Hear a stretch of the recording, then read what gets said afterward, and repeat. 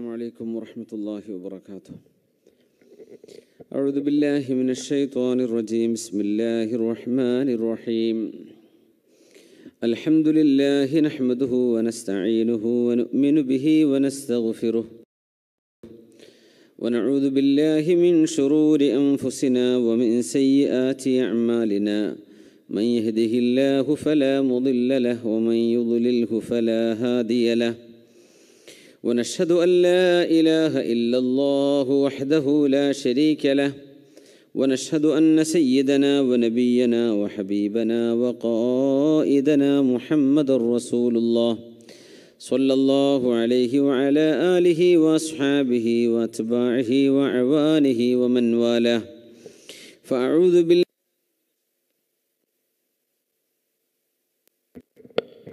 فأعوذ بالله من الشيطان الرجيم. بسم الله الرحمن الرحيم. ونضع الموازين القسط ليوم القيامة. فلا تضل فلا تظلم نفس شيئا وإن كان مثقال حبة من خردل أتينا بها. وإن كان مثقال حبة من خردل أتينا بها وكفى بنا حاسبين بارك الله لي ولكم بالقرآن العظيم ونفعني وإياكم بما فيه من الآيات والذكر الحكيم وعصمني وإياكم برحمته من الشيطان الرجيم ബഹുമാന്യരായ മുഅ്മിനീങ്ങളെ സത്യവിശ്വാസി വിശ്വാസിനികളെ അള്ളാഹു സുബ്ഹാനഹു വതആലയുടെ പരിശുദ്ധമായ തൊണ്ണൂറ്റി ഒൻപത് അൽ അസ്മാ ഉൽ ഹുസ്നയിലെ അൽ അദിൽ എന്ന അള്ളാഹുവിന്റെ ഇസ്മാണ് നമ്മൾ ഇന്ന് പഠിക്കുന്നത്. അതിൽ എന്ന് പറഞ്ഞാൽ തന്നെ നീതി എന്നാണ്. എല്ലാ അർത്ഥത്തിലും അള്ളാഹു നീതി ചെയ്യുന്നവനാണ്. പ്രപഞ്ചത്തിന്റെ സൃഷ്ടിപ്പിൽ നമ്മുടെ സൃഷ്ടിപ്പിൽ നമ്മോടുള്ള അള്ളാഹുവിൻ്റെ ആജ്ഞകളിൽ നാളെ പരലോകത്തെ അള്ളാഹു നൽകുന്ന വിചാരണയിൽ എല്ലാറ്റിലും അള്ളാഹു നീതിമാനാണ് ونضع الموازين القسط ليوم القيامة അന്ത്യനാളിൽ അള്ളാഹു നീതിയുടെ തുലാസ് നാട്ടിവെക്കും ഖിയാമത്ത് നാളിൽ അള്ളാഹു നീതി നടപ്പാക്കും ഫലാ തുലുലമു നഫ്സുൻ ഷൈആ ഒരാൾക്കും ഒരൽപ്പം പോലും അനീതി അവിടെ ഏൽക്കേണ്ടി വരികയില്ല അതിക്രമം ആരോടും ഉണ്ടാവുകയില്ല وإن كان مثقال حبة من خردل أتينا بها وكفى بنا حاسبين ഏത് ചെറുതും വലുതുമായ നന്മയും തിന്മയും നാളെ അള്ളാഹുവിൻ്റെ മുമ്പിൽ ഹാജരാക്കപ്പെടും വകഫാബിന ഹാസിബീൻ വിചാരണ ചെയ്യാൻ അള്ളാഹു തന്നെ ധാരാളമല്ലയോ അള്ളാഹു പറയാണ് അള്ളാഹു നീതിമാനാണ് അതിലാണ് അള്ളാഹു എല്ലാ തരത്തിലുമുള്ള നീതിമാനാണ് ഇന്നല്ലാഹുബിൽ അദിലി വൽ ഇഹ്സാൻ وإيتاء ذي القربى وينهى عن الفحشاء والمنكر والبغي يعظكم لعلكم تذكرون ولذكر الله أكبر والله يعلم ما تصنعون മഹാനായ ഉസ്മാൻ ബിൻ മദൂൻ റളിയല്ലാഹു അൻഹു പറയുമായിരുന്നു ഇസ്ലാം ആശ്ലേഷണം ഇസ്ലാമിലേക്ക് ഞാൻ എൻ്റെ മനസ്സ് ഇസ്ലാം സ്വീകരിച്ചു എന്ന് തന്നെ ആ ഒരു ആദ്യ കാലഘട്ടത്തിൽ എന്റെ മനസ്സിനുള്ളിലേക്ക് ഇസ്ലാം ആഴ്ന്നിറങ്ങിയത്. ഈ ആയത്ത് കേട്ടപ്പോഴാണ് അള്ളാഹു നന്മ ചെയ്യാനും നീതി ചെയ്യാനും നിങ്ങളോട് കൽപ്പിച്ചിരിക്കുന്നു. നമ്മളോടൊക്കെ നീതി ചെയ്യാൻ അള്ളാഹു കൽപ്പിക്കുന്നു. വൽ എഹ്സാൻ നന്മ ചെയ്യാനും അള്ളാഹു നമ്മോട് കൽപ്പിക്കുകയാണ്. ഇന്നല്ലാഹുബിൽ അദിലി വൽ ഇഹ്സാൻ ഇതിൽ ഖുർബ. കുടുംബക്കാർക്ക് ബന്ധുക്കൾക്ക് ദാനം കൊടുക്കണം. വയൻഹ അനിൽ ഫഹ്ഷ ഇവൽ മുങ്കരിവൽ ബഹി അതിക്രമങ്ങൾ നിങ്ങൾ ചെയ്യരുത് എന്ന് അള്ളാഹു നിങ്ങളോട് നിരോധിക്കുന്നു. വൽ ഫഹഷ വ്യഭിചാരം പോലെയുള്ള തെറ്റുകൾ ചെയ്യരുതെന്നും വൽ മുങ്കർ വെറുക്കപ്പെടുന്ന ഒരു കാര്യവും നിങ്ങൾ ചെയ്യരുത് എന്ന് അള്ളാഹു നിങ്ങളോട് നിരോധിക്കുകയാണ്. മൂന്ന് കാര്യം അള്ളാഹു നിങ്ങളോട് കൽപ്പിക്കുകയുമാണ്. അൽ അദിൽ അൽ ഇഹ്സാൻ ഉദിൽ ഖുർബ. നമ്മുടെ ബന്ധുമിത്രാദികൾക്ക് നൽകണം നീതി പാലിക്കണം പരമാവധി നന്മ ചെയ്യണം. ഇഹ്സാൻ ആർക്കെന്നില്ലാതെ ആരോടെന്നില്ലാതെ ഏത് സ്ഥലകാല ബന്ധങ്ങളെ അള്ളാഹു പറയാതെ യഹ്സാൻ ചെയ്യണേ നിങ്ങൾ നീതി ചെയ്യണമേ എന്ന് അള്ളാഹു നമ്മോട് കൽപ്പിച്ചിരിക്കുന്നു.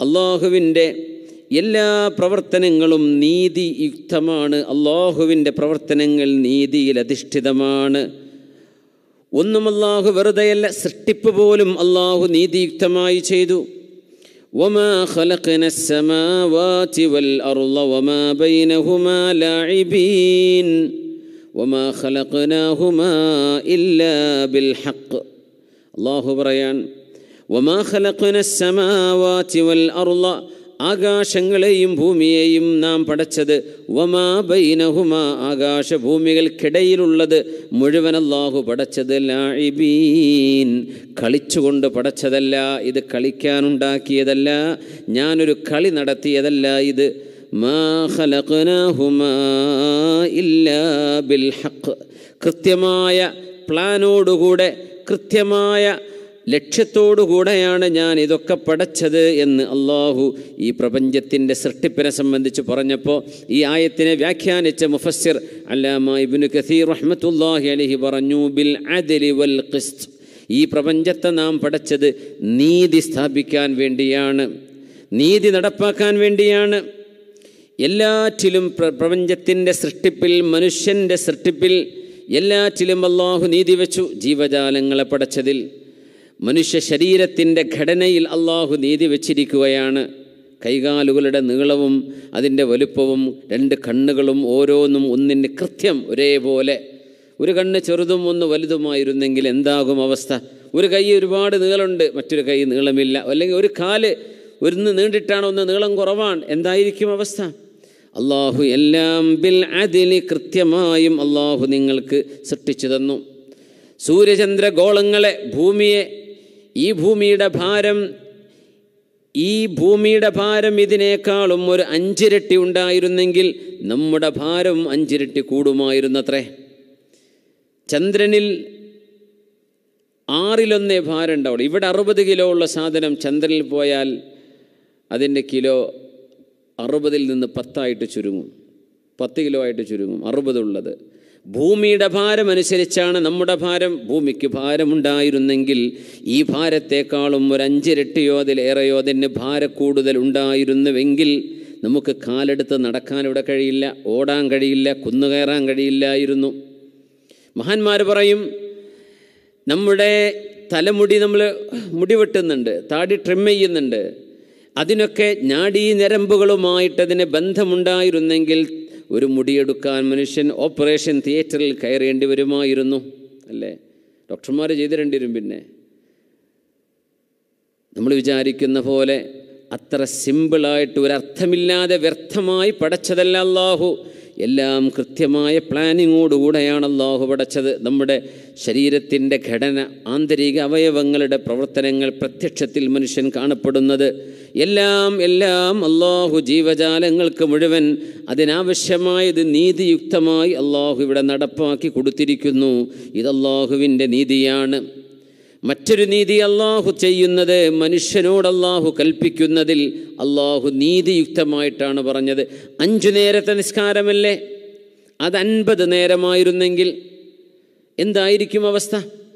ഒരു മാസത്തെ നോമ്പാണ് ഒരു വർഷത്തിൽ അള്ളാഹു നിർബന്ധമാക്കിയത്. അതിലേറെയായിരുന്നെങ്കിൽ ഇത്ര പ്രയാസമായി പോയേനെ. എല്ലാം ലാ യുക്കല്ലിഫുല്ലാഹു നഫ്സൻ ഇല്ലാ ഉസഹ ഒരു മനുഷ്യന് സാധിക്കുന്നതല്ലാതെ അള്ളാഹു അവരോട് ചെയ്യാൻ പറഞ്ഞിട്ടില്ല. നിന്ന് നിസ്കരിക്കണം നിൽക്കാൻ പറ്റാത്തവർക്ക് ഇരിക്കാം. ഇരിക്കാൻ പറ്റാത്തവർക്ക് കിടക്കാം.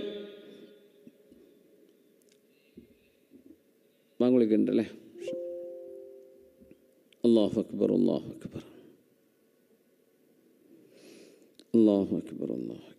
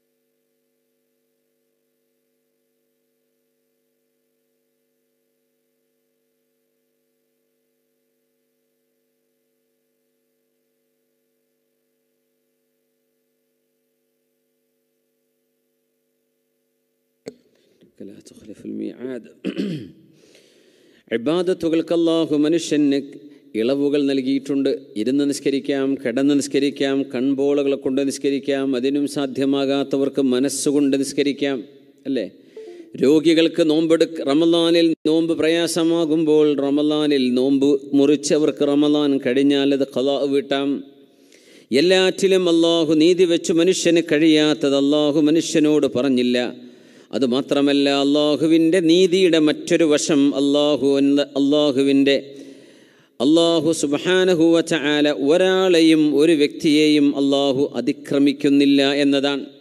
മനുഷ്യൻ അധികാരം കിട്ടിയാൽ മനുഷ്യൻ ലുൽമു ചെയ്യും. പവർ കിട്ടിയാൽ മനുഷ്യൻ ലുൽമു ചെയ്യും. എന്നാൽ അഖ്ദറുൽ ഖാദിറീനായ അള്ളാഹു ശക്തിമാന്മാരിൽ ശക്തിയുള്ളവരിൽ അതിശക്തനായ അള്ളാഹു അവന്റെ അബുദുകളോട് ഒരിക്കലും ലുൽമു ചെയ്യുന്നില്ല. ഈ ലോകത്തെ പടച്ചവനെ നിസ്കരിക്കുന്നവർക്കും നിസ്കരിക്കാത്തവർക്കും അള്ളാഹുവിനെ വിശ്വസിക്കുന്നവർക്കും വിശ്വസിക്കാത്തവർക്കും ഒരുപോലെ രിസുക്ക് നൽകുന്നവനല്ലേ അള്ളാഹു ഒരുപോലെ രിസുക്ക് കൊടുക്കുന്നു. തിന്മ ചെയ്യുന്നവർക്ക് പോലും അള്ളാഹു ഭക്ഷണം നിഷേധിക്കുന്നില്ല അവരുടെ സൗകര്യങ്ങൾ നിഷേധിക്കുന്നില്ല. അള്ളാഹു കൊടുക്കുന്നുണ്ട്. وما ظلمناهم ولكن كانوا أنفسهم ولكن كانوا أنفسهم يظلمون അള്ളാഹു ആരെയും അതിക്രമിച്ചിട്ടില്ല അള്ളാഹു ആരെയും ആക്രമിച്ചിട്ടില്ല അവർ സ്വയം അവരോട് തന്നെ അതിക്രമം ചെയ്യുകയായിരുന്നു നോക്കണം ഇനി അള്ളാഹു ശിക്ഷിക്കുകയാണെങ്കിൽ ശിക്ഷ അർഹിക്കുന്നവരെ ശിക്ഷിക്കുമ്പോഴും അള്ളാഹു അതിലോടുകൂടെയാണ് നീതിയോടുകൂടെയാണ് ശിക്ഷ നടപ്പാക്കുന്നത് فكلا أخذنا بذنبه فمنهم من أرسلنا عليه حاصبا ومنهم من أخذته الصيحة ومنهم من خسفنا به الأرض ومنهم من أغرقنا وما كان الله ليظلمهم ولكن كانوا أنفسهم يظلمون സൂറത്തുൽ അങ്കബൂത്തിലാണ് അള്ളാഹു പറയുന്നത് ബിദംബി ഓരോരുത്തരെയും അവരുടെ തെറ്റിന്റെ കണക്കനുസരിച്ചാണ് നാം ശിക്ഷിച്ചത് അള്ളാഹു പറയാണ്. ഓരോരുത്തരെയും അവരവരുടെ തെറ്റിന്റെ പാപത്തിന്റെ തോതനുസരിച്ചിട്ടേ അള്ളാഹു ശിക്ഷിച്ചിട്ടുള്ളൂ. അതായത് തെറ്റ് ചെയ്തതിനനുസരിച്ച് അള്ളാഹു ശിക്ഷിക്കുന്നുള്ളൂ. എന്നിട്ട് പറഞ്ഞു ഫമിൻഹും മൻ അർസൽനാ അലൈഹി ഹാസിബ കൊടുങ്കാറ്റ് അയച്ചുകൊണ്ട് നാം ശിക്ഷിച്ചവർ അവരിൽ അവരിലുണ്ട്.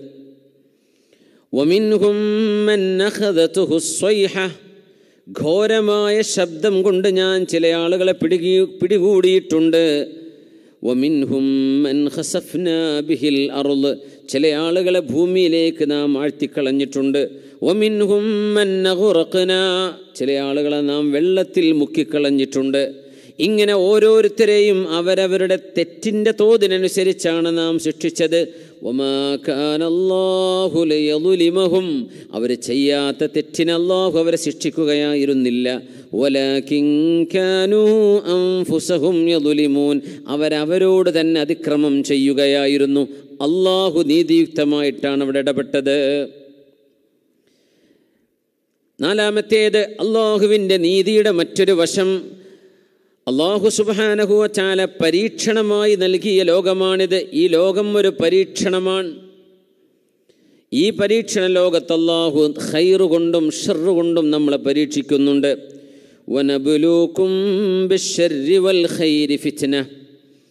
അനുഗ്രഹങ്ങളുണ്ടാകുന്നതൊരു പരീക്ഷണമാണ്. രോഗങ്ങളുണ്ടാകുന്നതും ഒരു പരീക്ഷണമാണ്. ആരോഗ്യം പരീക്ഷണമാണ്. രോഗവും പരീക്ഷണം. രണ്ടും പരീക്ഷണങ്ങളാണ്. ആ പരീക്ഷണങ്ങളിൽ പോലും അള്ളാഹു നമ്മളോട് നീതി ചെയ്തു എന്ന് മഹാനായ റസൂലുല്ലാഹി സൊല്ലാഹു അലൈഹി വസല്ലമ തങ്ങൾ പറയുന്ന ഹദീസ് മിനൽ നിങ്ങൾ ഓരോരുത്തർക്കും ജിന്നിൽപ്പെട്ട ഒരു കരീനിനെ അള്ളാഹു നിശ്ചയിച്ചിട്ടുണ്ട്. വഖരീനഹു മിനൽ മലായിക വഖരീനുഹു മിനൽ മലായിക. മലക്കുകളിൽപ്പെട്ട ഒരു കരീനിനെയും അള്ളാഹു നിങ്ങൾക്ക് നിശ്ചയിച്ചിട്ടുണ്ട്.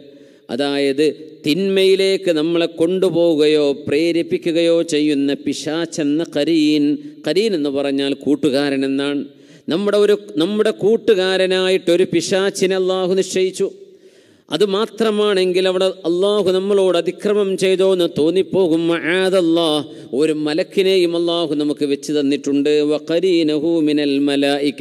ഒരു മലക്കും കൂടെയുണ്ട്. ആ മലക്ക് നമ്മളെ നന്മയിലേക്ക് വിളിക്കുന്നുണ്ട്. തിന്മയിലേക്കുള്ള മനുഷ്യൻ്റെ സ്വാഭാവികമായ ഒരു ടെൻഡൻസി പോലെ തന്നെ നന്മ ചെയ്യാനും അള്ളാഹു ഒരു ടെൻഡൻസി നമുക്ക് നൽകുന്നുണ്ട് അത് മലക്കിൻ്റെ വിളിയാണ് തിന്മയിലേക്കുള്ളത് പിശാച്ചിൻ്റെ വിളിയാണ് ഒരു പിശാച്ചിനെ നിർത്തിയപ്പോൾ ഇപ്പുറത്ത് അള്ളാഹു മലക്കിനെയും നിർത്തി തന്നിട്ടുണ്ട് അത് അള്ളാഹുവിൻ്റെ അതിലാണ് ولكن الله حبب إليكم الإيمان وزينه في قلوبكم وكره إليكم الكفر والفسوق والعصيان وأولئك هم الراشدون ولكن الله حبب إليكم الإيمان الله നിങ്ങൾക്ക് ഈമാൻ മഹബൂബാക്കി തന്നിട്ടുണ്ട് നമ്മളോട് വിശ്വസിച്ചേക്കണം ഖുർആൻ അനുസരിച്ച് ജീവിച്ചേക്കണം ഇസ്ലാം പഠിക്കണം അറിയണം അതനുസരിച്ച് ജീവിക്കണം എന്നൊരാഗ്രഹം നിങ്ങളുടെ മനസ്സിൽ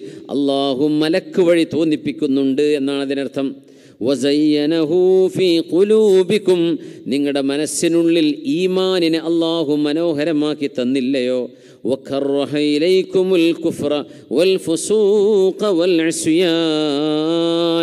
തെറ്റ് ചെയ്യുന്നതും പാപങ്ങൾ ചെയ്യുന്നതും അള്ളാഹുവിൽ അവിശ്വസിക്കുന്നതും നിങ്ങൾക്ക് പേടിയുള്ളതും വെറുപ്പുള്ളതുമാക്കി അള്ളാഹു മാറ്റിത്തരുന്നില്ലേ? ഇതെല്ലാം അള്ളാഹുവിന്റെ നീതിയിൽപ്പെട്ടതാണ്. തിന്മയിലേക്ക് പിശാച്ച് വലിക്കുന്നുണ്ട്. പക്ഷേ അള്ളാഹു അതേപോലെ നിങ്ങൾക്ക് ഈമാൻ ഇഷ്ടപ്പെടുത്തുന്നുമുണ്ട്. അപ്പം ഈമാൻ ഇഷ്ടപ്പെടണമോ വേണ്ടയോ എന്ന് നിങ്ങളാണത് എടുക്കേണ്ടത് നിങ്ങളാണ് തീരുമാനിക്കേണ്ടത്. അള്ളാഹുവിന്റെ അപാരമായ നീതി കൊണ്ട് അതിലുകൊണ്ട് ജസ്റ്റിസ് കൊണ്ട് അള്ളാഹു നിങ്ങൾക്ക് രണ്ടും ഒരുപോലെ വീതിച്ചിരിക്കുകയാണ്. നാലാമത് ആ അള്ളാഹുവിന്റെ നീതിയുടെ വശമാണ് നമ്മൾ പറഞ്ഞത്. അഞ്ചാമത് അള്ളാഹു സുബാനഹുവ ചാല അവന്റെ പരമമായ നീതി ബോധ്യപ്പെടുത്തുന്നത് ഖിയാമത്തു നാളിലാണ്. അള്ളാഹു ചാല ഓരോരുത്തരെയും അവരവർക്കെതിരെ തെളിവ് സമർപ്പിച്ചുകൊണ്ടാണ് അവരെ ശിക്ഷിക്കുന്നത്. ഓരോരുത്തർക്കും തെളിവുണ്ട്. വെറുതെ അള്ളാഹു ശിക്ഷിക്കൂല.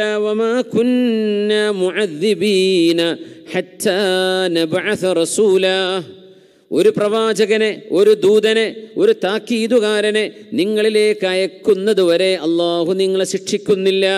താക്കീതുകാരനായ ഹബീബ് സൊല്ലല്ലാഹു അലൈ വസല്ലം പ്രവാചകർക്ക് ശേഷം സൊല്ലല്ലാഹു അലൈ വസല്ലം തങ്ങൾക്ക് ശേഷം ദീനിൻ്റെ ആലിമീങ്ങൾ പണ്ഡിതന്മാർ പ്രബോധകന്മാർ ഈ താക്കീതുകാര് നിങ്ങൾക്ക് വരാതെ അവരിൽ നിന്ന് നിങ്ങൾക്ക് വിവരം ലഭിക്കാതെ നിങ്ങളെ അള്ളാഹു വെറുതെ അങ്ങ് ശിക്ഷിക്കുന്നില്ല وما كان ربك مهلك القرى حتى يبعث في أمها رسولا يتلو عليهم آياتنا وما كنا مهلك القرى إلا وأهلها ظالمون وما كان ربك مهلك القرى നബിയെ ഒരു നാട്ടുകാരെയും അള്ളാഹു നശിപ്പിക്കുന്നില്ല حتى يبعث في أمها رسولا അവർക്ക് അവരുടെ മധ്യത്തിൽ അവരുടെ ഇടയിൽ ചെന്ന് അവർക്ക് ദീൻ പഠിപ്പിക്കുന്ന ഇസ്ലാമിന്റെ അള്ളാഹുവിന്റെ നിയമങ്ങൾ മനസ്സിലാക്കി കൊടുക്കുന്ന ഒരു ദൂതനെ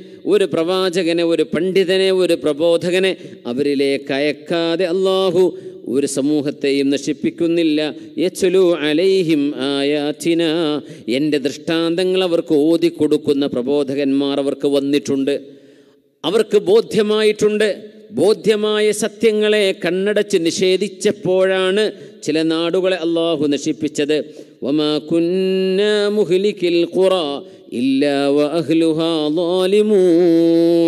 ഒരു പ്രദേശത്തുകാർ അതിക്രമികളായി ജീവിക്കാൻ തീരുമാനിക്കുമ്പോഴാണ് നാം അവരെ നശിപ്പിക്കുന്നത് എന്ന് അള്ളാഹു റബ്ബുൽ വമാ റബ്ബുക ليهلك القرى بظلم وأهلها مصلحون ഇനി അത് മാത്രമല്ല ഒരു നാട്ടുകാര് അതിക്രമം ചെയ്തു എന്നിരിക്കട്ടെ പക്ഷേ അവർ നന്മ ചെയ്യുന്നവരായി മാറിയാൽ അള്ളാഹു വിട്ടുവീഴ്ച ചെയ്യുന്നുണ്ട് അവരെ ശിക്ഷിക്കുന്നില്ല വല അതുപോലെ തന്നെ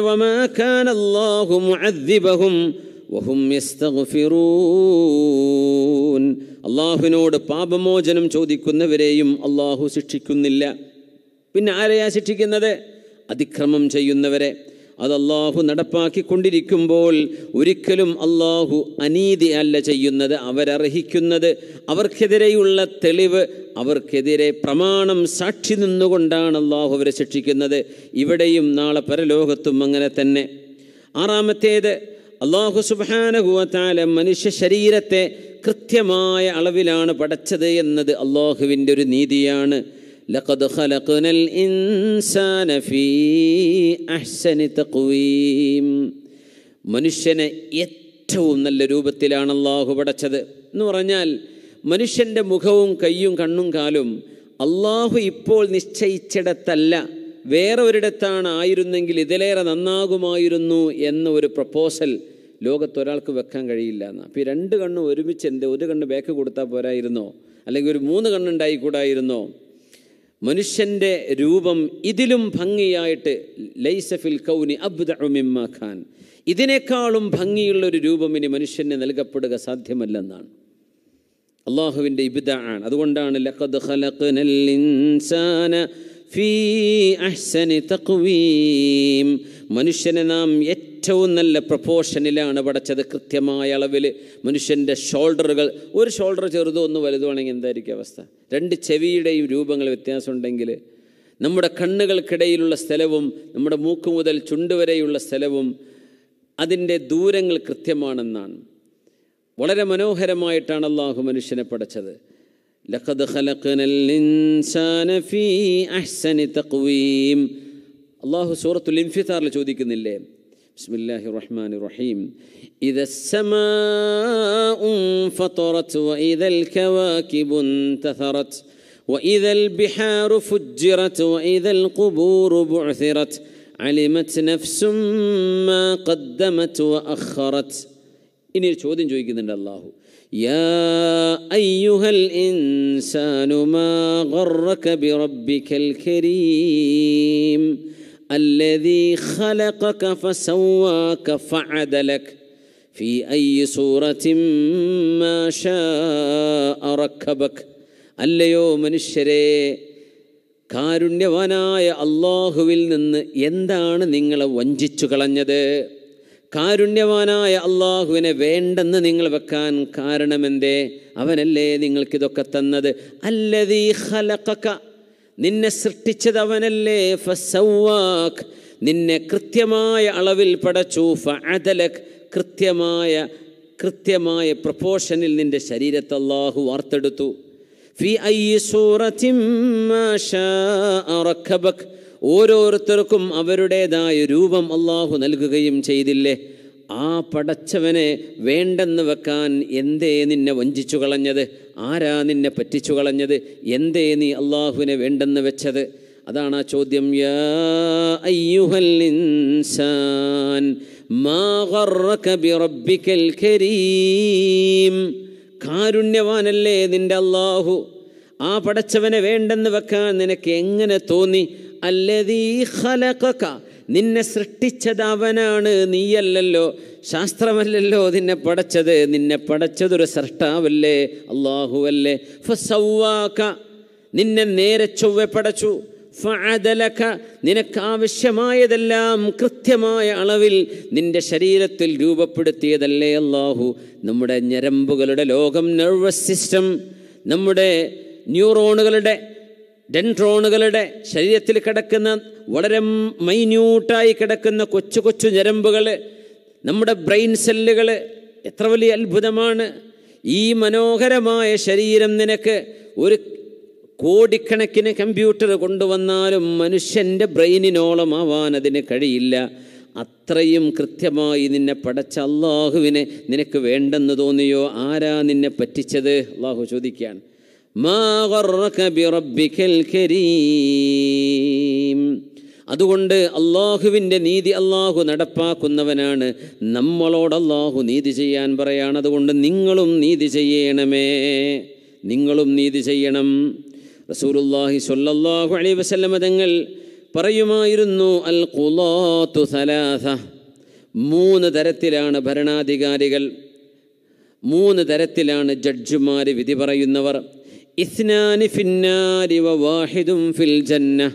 ജഡ്ജ് അധികാരം കൈകളിലുണ്ടായി വിധി പറയാനുള്ള ന്യായം പറയാനുള്ള അധികാരമുള്ള ജഡ്ജിമാരിൽ മൂന്നിൽ രണ്ട് വിഭാഗം നരകത്തിലാണ് ഒരു വിഭാഗമാണ് ഒരു വിഭാഗമാണ് സ്വർഗത്തിലുള്ളത്. റജുലുൻ അലിമൽ ഹഖ് ഫഖളാ ബിഹി ഫഹുവൽ ജൻ ഫഹുവ ഫിൽ ജന്ന. ഒരു ജഡ്ജ് റജുലുൻ അലിമൽ ഹഖ് സത്യമേതാണെന്ന് അയാൾക്കറിഞ്ഞു. അറിഞ്ഞു ഫഖളാ ബിഹി. ആ സത്യമനുസരിച്ച് അയാൾ വിധി പറഞ്ഞാൽ ഫഹുവ ഫിൽ ജന്ന. അയാൾ സ്വർഗത്തിലാണ്. വറജുലുൻ ഖളാ ലിന്നാസി അലാ ജഹ്ലിൻ. വിവരമില്ലാതെ വിധി പറഞ്ഞു.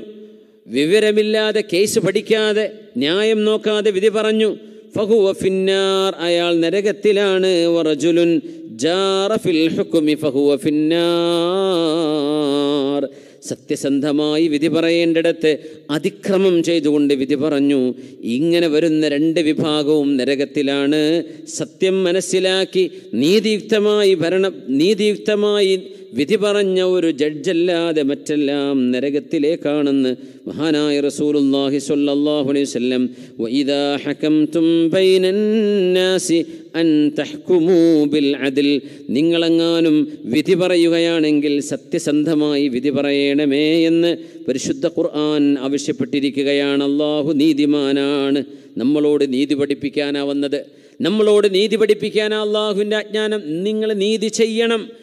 ലോകത്തിന് നീതി പറഞ്ഞു കൊടുക്കണം അള്ളാഹുവിൻ്റെ ആഹ്വാനം നോക്കണം യാ അയ്യുഹല്ലദീന ആമനൂ كونوا قوامين لله شهداء بالقسط ولا يجرمنكم شنآن قوم على ألا تعدلوا يعدلوا هو أقرب للتقوى واتقوا الله إن الله خبير بما تعملون എത്ര മനോഹരമാണ് ഖുർആാനിൻ്റെ വിശേഷണങ്ങൾ ഇസ്ലാമിനെ എതിർക്കുന്ന ആളുകൾ കുറ്റങ്ങളല്ലാതെ എത്ര ആയിരക്കണക്കിന് നന്മകൾ ഖുർആാനിലുണ്ട് ഏതെങ്കിലും ഒരാൾ എന്നാൽ ഖുർആാനിൽ ഇങ്ങനൊരു നല്ല കാര്യം ഉണ്ട് കേട്ടോ എന്നീ ശത്രുക്കൾ പറയുന്നത് കേൾക്കുക വളരെ പ്രയാസമാണ് കാരണം അവരുടെ അജണ്ട സത്യത്തെ മൂടിവെക്കലാണ്. അതുകൊണ്ട് അവർക്ക് പറയാൻ കഴിയില്ല. ഇതുപോലുള്ള ആയത്തുകളൊക്കെ ലോകത്ത് ആരാ ഇങ്ങനെ പ്രഖ്യാപിച്ചത്? എത്ര മനോഹരമാണ് ഇതൊക്കെ യാ അയ്യുഹല്ലദീന ഇസ്ലാം സ്വീകരിച്ച വിശ്വാസികളെ നിങ്ങളോട് എനിക്ക് ചിലത് പറയാനുണ്ട്. അള്ളാഹു പറയാ. മുഅ്മിനീങ്ങളെ വിളിച്ചിട്ട്. കൂനു ഖവ്വാമീന ലില്ലാഹി ശുഹദാഅ ബിൽ ഖിസ്ത്. നിങ്ങൾ അള്ളാഹുവിന്റെ നിയമമനുസരിച്ച് ജീവിക്കുകയും നീതിക്ക് സാക്ഷി പറയുന്നവരാവുകയും വേണം. ഷുഹദ അബിൽ ഖിസ്ത്.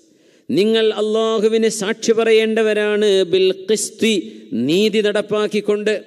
നിങ്ങൾ നീതി നടപ്പാക്കണം. വലായജിരിമന്നക്കും ഷനആനു ഖൗമിൻ അല അല്ല തഅദിലു. ഒരു വിഭാഗത്തോട് നിങ്ങൾക്ക് വെറുപ്പുണ്ടെന്ന് വിചാരിച്ച് അവരോട് നീതി ചെയ്യാതിരിക്കരുതേ. നല്ലത് കണ്ടാൽ നല്ലത് എന്ന് പറയണം. ന്യായം കണ്ടാൽ അത് ന്യായമാണെന്ന് പറയണം. അവരോട് വെറുപ്പുണ്ടാകാം എന്ന് വിചാരിച്ചവരുടെ ഒരു വിഷയം വരുമ്പോൾ നീതിയുക്തമായിട്ടേ നിങ്ങൾ ഇടപെടാവൂ എഴുതിലൂ. നീതി ചെയ്യണമേ ഹുവ അഖുറബുലി തക്കുവാ നീതി കൊണ്ടേ നിങ്ങൾക്ക് തക്കവയിലേക്ക് എത്താൻ കഴിയൂ. നീതി കൊണ്ടേ തക്കവയിലേക്ക് അടുക്കാൻ കഴിയൂ. അത്തഖുല്ലാ നിങ്ങൾ അള്ളാഹുവിനെ ഭയപ്പെടേണമേ. ഇന്നല്ലാഹ ഖബീറും ബിമാ തഅമലൂൻ. നിങ്ങൾ ചെയ്തുകൊണ്ടിരിക്കുന്നതെല്ലാം അള്ളാഹു അറിയുന്നവനാണ്. ജനങ്ങളോട് നീതി ചെയ്യണമേ. മഹാനായ ഇബ്നു കസീർ റഹ്മത്തുല്ലാഹി അലൈഹി മുഫസ്സിറാണ് ഖുർആാനിന്റെ വ്യാഖ്യാതാവ്. ഈ ആയത്തിനെ വ്യാഖ്യാനിച്ചുകൊണ്ട് പറഞ്ഞു ലാ യഹ്മിലന്നകും ബുഅ്ദു ഖൗമിൻ അലാ തർക്കിൽ അതിലിഫീഹിം ഒരു സമൂഹത്തോടുള്ള നിങ്ങളുടെ ദേഷ്യം അവരോട് നീതി നടപ്പാക്കാൻ നിങ്ങൾ തടസ്സം നിൽക്കരുത്. ബലിസ്തമിലുൽ അതിലഫി കുല്ലി അഹദിൻ. ഓരോരുത്തർക്കും നീതി നിങ്ങൾ നൽകണം. സ്വദീഖൻ കാന ഔ അദുവ. അത് നിങ്ങളുടെ ശത്രുവാണെങ്കിലും നിങ്ങളുടെ മിത്രമാണെങ്കിലും ന്യായം നോക്കിയിട്ടാണ് നിങ്ങൾ വിധി പറയേണ്ടത്. അള്ളാഹുവിന്റെ ആജ്ഞയാണത്. എഴുതിലൂ ഹുവ നീതി ചെയ്യണമേ അതുകൊണ്ടാണ് അള്ളാഹുലേക്ക് നിങ്ങൾ കടുക്കാൻ കഴിയുകയുള്ളൂ. നീതി നടപ്പാക്കിയാൽ രാജ്യത്ത് സമാധാനമുണ്ടാകും.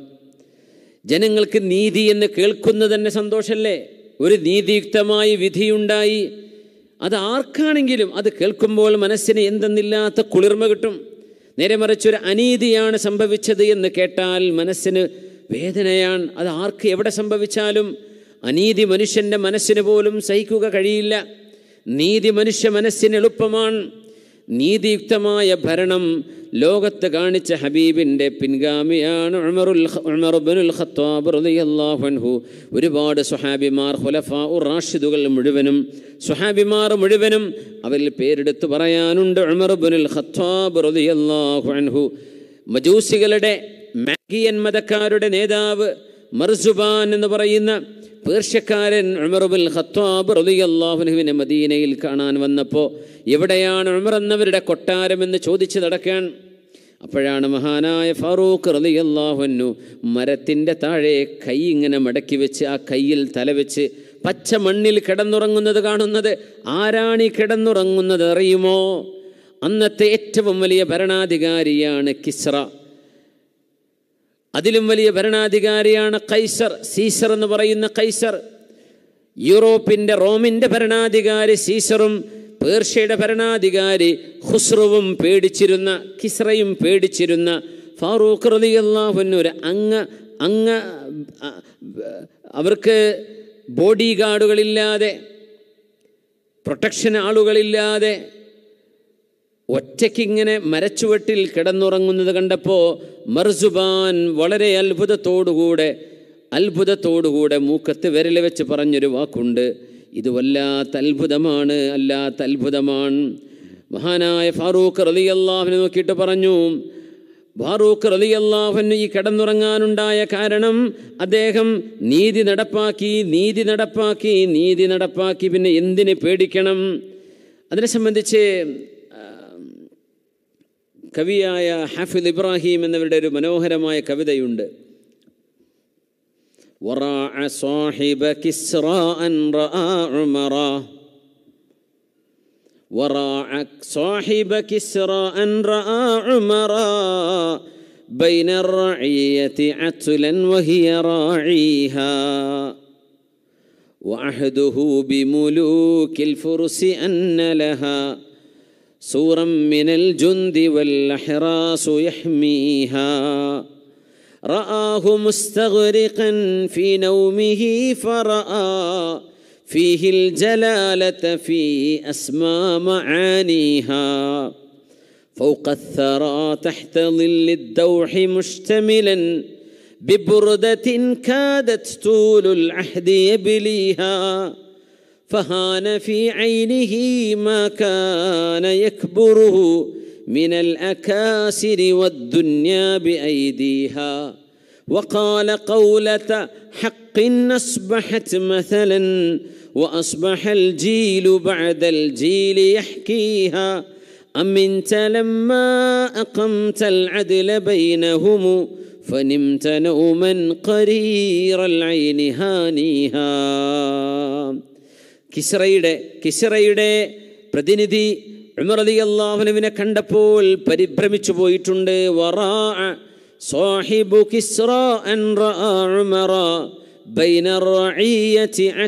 വഹിയ റാഈഹ സ്വന്തം പ്രജകൾക്കിടയിൽ ആരാരും അംഗരക്ഷകരില്ലാതെ ഒറ്റയ്ക്ക് നടക്കുന്ന അമീറുൽ മുഅ്മിനീൻ പത്തിരുപത് രാജ്യങ്ങളുടെ ഭരണാധികാരി മണ്ണിൽ കിടക്കുന്നത് കണ്ടപ്പോൾ ഒരു മരച്ചുവട്ടിൽ ഒറ്റയ്ക്ക് വിശ്രമിക്കുന്നത് കണ്ടപ്പോൾ കിസ്റയുടെ പ്രതിനിധി പേടിച്ചുപോയി.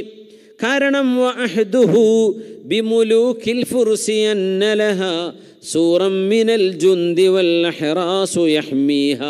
പേർഷ്യൻ ഭരണാധികാരികളെ മർസുബാൻ മർസുബാൻ കണ്ടത് ഇങ്ങനെയല്ല. ആയിരക്കണക്കിന് സൈന്യത്തിൻ്റെ അകമ്പടിയും അവരുടെ കാവലും അവരുടെ പ്രൊട്ടക്ഷനുമുള്ള ഭരണാധികാരികളെയാണ് മർസുബാൻ കണ്ടത് ഇതെന്ത് അത്ഭുതമാണ് മുസ്ലിം ലോകത്ത് വന്നപ്പോൾ അംഗരക്ഷകരില്ലാത്ത ഭരണാധികാരിയോ കാണുമ്പോൾ ഉമർ എന്നവർ ഉറക്കത്തിലാണ് റആഹു മുസ്തഗ്രിഖൻ ഫീ നൗമിഹി ഫറആ فيه الجلالة في أسمى معانيها ഉമർ അള്ളാഹുനുവിനെ കാണുമ്പോൾ ഉറക്കത്തിൽ ആണ്ട് പൂണ്ട് കിടന്ന് ഉറങ്ങുകയാണ്. നല്ല ഉറക്കത്തിലാണ് ഫീഹിൽ ജലാല. പക്ഷേ ആ മഹാത്മ്യം മുഖത്ത് തെളിയുന്നുണ്ട്. ഫീ അസ്മാ മഹാനീഹ മണ്ണിന്റെ മുകളിലാണ് ഈ കിടക്കുന്നത്. തഹ്തലുല്ലി ദൗഹി മുഷ്തമിലൻ. ഒരു മുൾച്ചെടിയുടെ താഴെ ബിബുർദത്തിൻ ഒരു പുതപ്പ് പുതച്ച കിടക്കണത്. ആ പുതപ്പാണെങ്കിലോ കാദത്ത് തൂലുൽ ബിലീഹ. കുറേ പഴക്കമുള്ളത് കൊണ്ട് ആ പുതപ്പ് പോലും നുരുമ്പില്ലാതെ ആയിട്ടുണ്ടാ. പിഞ്ഞു പറഞ്ഞു പോയിട്ടുണ്ട്. അങ്ങനെ ഒരു പുതപ്പും പുതച്ച് ഒരു മുൾച്ചെടിയുടെ താഴെ കിടക്കുന്ന ഉമറന്നവരെയാണ് കാണുന്നത്. ഫഹാന ഫി യക്ബുറുഹു മിനൽ ബിഐദിഹാ. ഇത് കണ്ടപ്പോൾ എന്ത് എന്താണ് എന്താണ് കിസറമാരുടെ അനുഭവം എന്താണത്? അതെവിടെ കിടക്കുന്നു? ഉമർ എവിടെ കിടക്കുന്നു? അപ്പോഴാണ് സത്യം അദ്ദേഹം വിളിച്ചു പറഞ്ഞത്. അത് ആ വാക്കാണ് ചരിത്രം ചരിത്രം തലമുറ തലമുറകൾക്ക് കൈമാറിയത്. എന്താണ് ആ വാക്ക്? അമ്മിൻ തലമ്മാ അഖംതൽ അദ്ല ബൈനഹുമൂ فنمت نوما قرير العين هانيها അമീറുൽ മുഅ്മിനീനെ നിങ്ങളെ ഉറങ്ങുന്നതിന് എന്ത് എന്ത് അതിനെന്താണ് അത്ഭുതപ്പെടാനുള്ളത് കാരണം അമിൻത നിങ്ങൾ നിങ്ങൾ സുരക്ഷിതമാണ് നിങ്ങൾ ആരും ഒന്നും ചെയ്യില്ല ലമ്മ അഖംതൽ അദ്ല ബൈനഹുമു നിങ്ങൾ ജന ജനങ്ങൾക്കിടയിൽ നീതി നടപ്പാക്കിയപ്പോൾ നീതി നിങ്ങൾ സ്ഥാപിച്ചപ്പോൾ പിന്നെ നിങ്ങൾക്ക് പേടിക്കേണ്ടി വന്നില്ല. അതുകൊണ്ട് നിങ്ങൾക്ക് സുന്ദരമായി കണ്ണടച്ച് ഉറങ്ങാൻ പറ്റി. അമിൻത ഫഅദൽ ഐൻ. ഉമർ എന്നവരെ നിങ്ങളുടെ ഈ ഒരു നീതിയാണ് നിങ്ങളെ ഈ നിലയ്ക്ക് സുരക്ഷിതമാക്കിയത് എന്ന് മർസുബാനിനെ കൊണ്ട് അള്ളാഹു പറയിപ്പിച്ചു. അതാണ് ഫാറൂഖ് റലി റളിയല്ലാഹു അതാണ് അള്ളാഹു ഭൂമിയിൽ നടപ്പാക്കാൻ പറയുന്ന നീതി. റസൂലുള്ളാഹി സ്വല്ലല്ലാഹു അലൈഹി വസ്ലമ തങ്ങൾ പറഞ്ഞ മൂന്ന് രക്ഷപ്പെടുന്ന വിഷയങ്ങളും മൂന്ന് നശിപ്പിക്കുന്ന കാര്യങ്ങളുമുണ്ട്. അതിൽ നീതി വരുന്നുണ്ട്. മൂന്ന് വിഷയങ്ങളെ നബി തങ്ങൾ പറഞ്ഞു സലാസുൻ മൂന്ന് കാര്യങ്ങൾ നിങ്ങളെ രക്ഷപ്പെടുത്തും. വസലാസുൻ മുഹ്ലിക്കാത്ത് മൂന്ന് കാര്യങ്ങൾ നിങ്ങളെ നശിപ്പിക്കും. തങ്ങളത് പറഞ്ഞാൽ അതങ്ങനെ തന്നെയാണ്. ഈ മൂന്ന് കാര്യം നിങ്ങൾ ജീവിതത്തിൽ എടുത്താൽ നിങ്ങൾക്ക് വിജയമുണ്ടാകും. ഈ മൂന്ന് കാര്യം തങ്ങൾ നശിപ്പിക്കുന്നതാണെന്ന് പറഞ്ഞത് നമ്മൾ ജീവിതത്തിൽ എടുത്താൽ അതുകൊണ്ട് ജീവിതം നശിക്കുകയും ചെയ്യും. എന്താണത്? ഫഅമ്മൽ മുൻജിയാതു ഏതാണ് രക്ഷപ്പെടുത്തുന്ന മൂന്നെണ്ണം? അൽ അദലു ഫൽ അദലു ഫി ഹാലത്തിൽ സന്തോഷമുണ്ടായാലും ദേഷ്യപ്പെട്ടാലും നീതി നടപ്പാക്കണം. സന്തോഷത്തിന്റെ അവസ്ഥയിലാണ് നല്ല മൂഡിലാണ് നല്ല മൂഡിലല്ല. പക്ഷേ ചെയ്യുന്നതും പറയുന്നതും നീതിയായിരിക്കണം. അതുകൊണ്ട് നിങ്ങൾക്ക് രക്ഷ കിട്ടും. രഹസ്യത്തിലും പരസ്യത്തിലും അള്ളാഹുവിനെ ഭയപ്പെടണം. അതുകൊണ്ട് നിങ്ങൾക്ക് രക്ഷ കിട്ടും. ഒറ്റക്കാണെങ്കിലും ആരും കാണില്ലെന്ന് തോന്നിയാലും നിങ്ങൾ അള്ളാഹുവിനെ ഭയപ്പെടേണമേ. വൽ ഫിൽ വൽ ഫഖർ. ദാരിദ്ര്യമുണ്ടെങ്കിലും സമ്പാദ്യമുണ്ടെങ്കിലും മിതമായി നിങ്ങൾ സമ്പത്ത് ചെലവഴിച്ചാൽ അതുകൊണ്ടും അള്ളാഹു നിങ്ങൾക്ക് വിജയം തരുമെന്ന് മഹാനായ റസൂറുല്ലാഹി സൊല്ലാഹു അലഹി വസല്ലം ഇതിൽ രക്ഷപ്പെടാൻ കഴിയുന്ന ഒരു വിഷയം. ഫൽ ഫി ഹാലത്തിൽ ദേഷ്യം വന്നാലും സന്തോഷം വന്നാലും നിങ്ങൾ നീതിയോടുകൂടെയാണ് പെരുമാറേണ്ടത്. നീതി നടപ്പാക്കണം. ഫറൂഖ് റളിയല്ലാഹു ചാലാൻഹുവിന്റെ വളരെ അത്ഭുതകരമായൊരു വാക്കുണ്ട്. വല്ലാഹി ലൗ ലൗ അസറത് ബഗ്ലത്തുൻ ഫിൽ ഇറാഖ് ലവജത്തുനി മസ്ഊലൻ അൻഹാ. മദീനയിൽ ഭരണം നടത്തുന്ന മദീന ആസ്ഥാനമായി ഭരണം നടത്തുന്ന ഫാറൂഖ് തങ്ങൾ പറയുന്നു അങ്ങ് ഇറാഖിലെങ്ങാനും ഒരു കോവർ കഴുത ടൈഗ്രീസിന്റെ ഓരത്തുകൂടെ ചുമടും കൊണ്ട് നടന്നു പോകുന്ന ഒരു കഴുതയെങ്ങാനും കാലിടറി വീണുപോയാൽ നാളെ അള്ളാഹു അതിനെ സംബന്ധിച്ച് എന്നോട് ചോദിക്കുമോ എന്ന് എനിക്ക് പേടിയുണ്ട്. കാരണം ഇറാഖിന്റെ ഖലീഫയാണ് ഫാറൂഖ് റതി അള്ളാഹുന്നു മദീനയിലാണ് ആസ്ഥാനം. പക്ഷേ ഇറാഖ് ഇസ്ലാമിക ഭരണത്തിലാണ് ഖലീഫയ എന്നോട് ചോദ്യമുണ്ട്. അപ്പൊ അവരോട് ചോദിച്ചു ലിമാതായ അമീറുൽ മുഅ്മിനീൻ അമീറുൽ മുഅ്മിനീനെ ഇറാഖിൽ കിടക്കുന്ന കഴുതയെക്കുറിച്ചോ അവിടെ കിടക്കുന്ന കോവർ കഴുതയെക്കുറിച്ചോ നിങ്ങളോട് അള്ളാഹു എന്തിനു ചോദിക്കണം? കാലലി അന്നനാ മുക്കല്ലഫൂന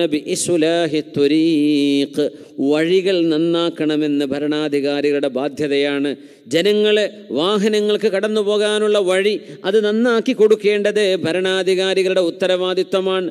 അത് ഞാൻ ചെയ്തില്ലെങ്കിൽ അവിടെ അവിടുത്തെ വഴി ശരിയല്ലാത്തത് കൊണ്ടാണ് ഒരു കഴുത അവിടെ കാലിടറി വീഴുന്നതെങ്കിൽ ഞാൻ അള്ളാഹുവിനോട് അതിന് മറുപടി പറയേണ്ടി വരുമെന്ന് പറഞ്ഞു. മഹാനായ ഫാറൂഖ് റളിയല്ലാഹു ചാലാൻഹു ആ നീതിയാണ് ഇസ്ലാം ലോകത്തിന് മുന്നോട്ട് വെച്ചത്. ഒരുപാട് സംഭവങ്ങളുണ്ട്.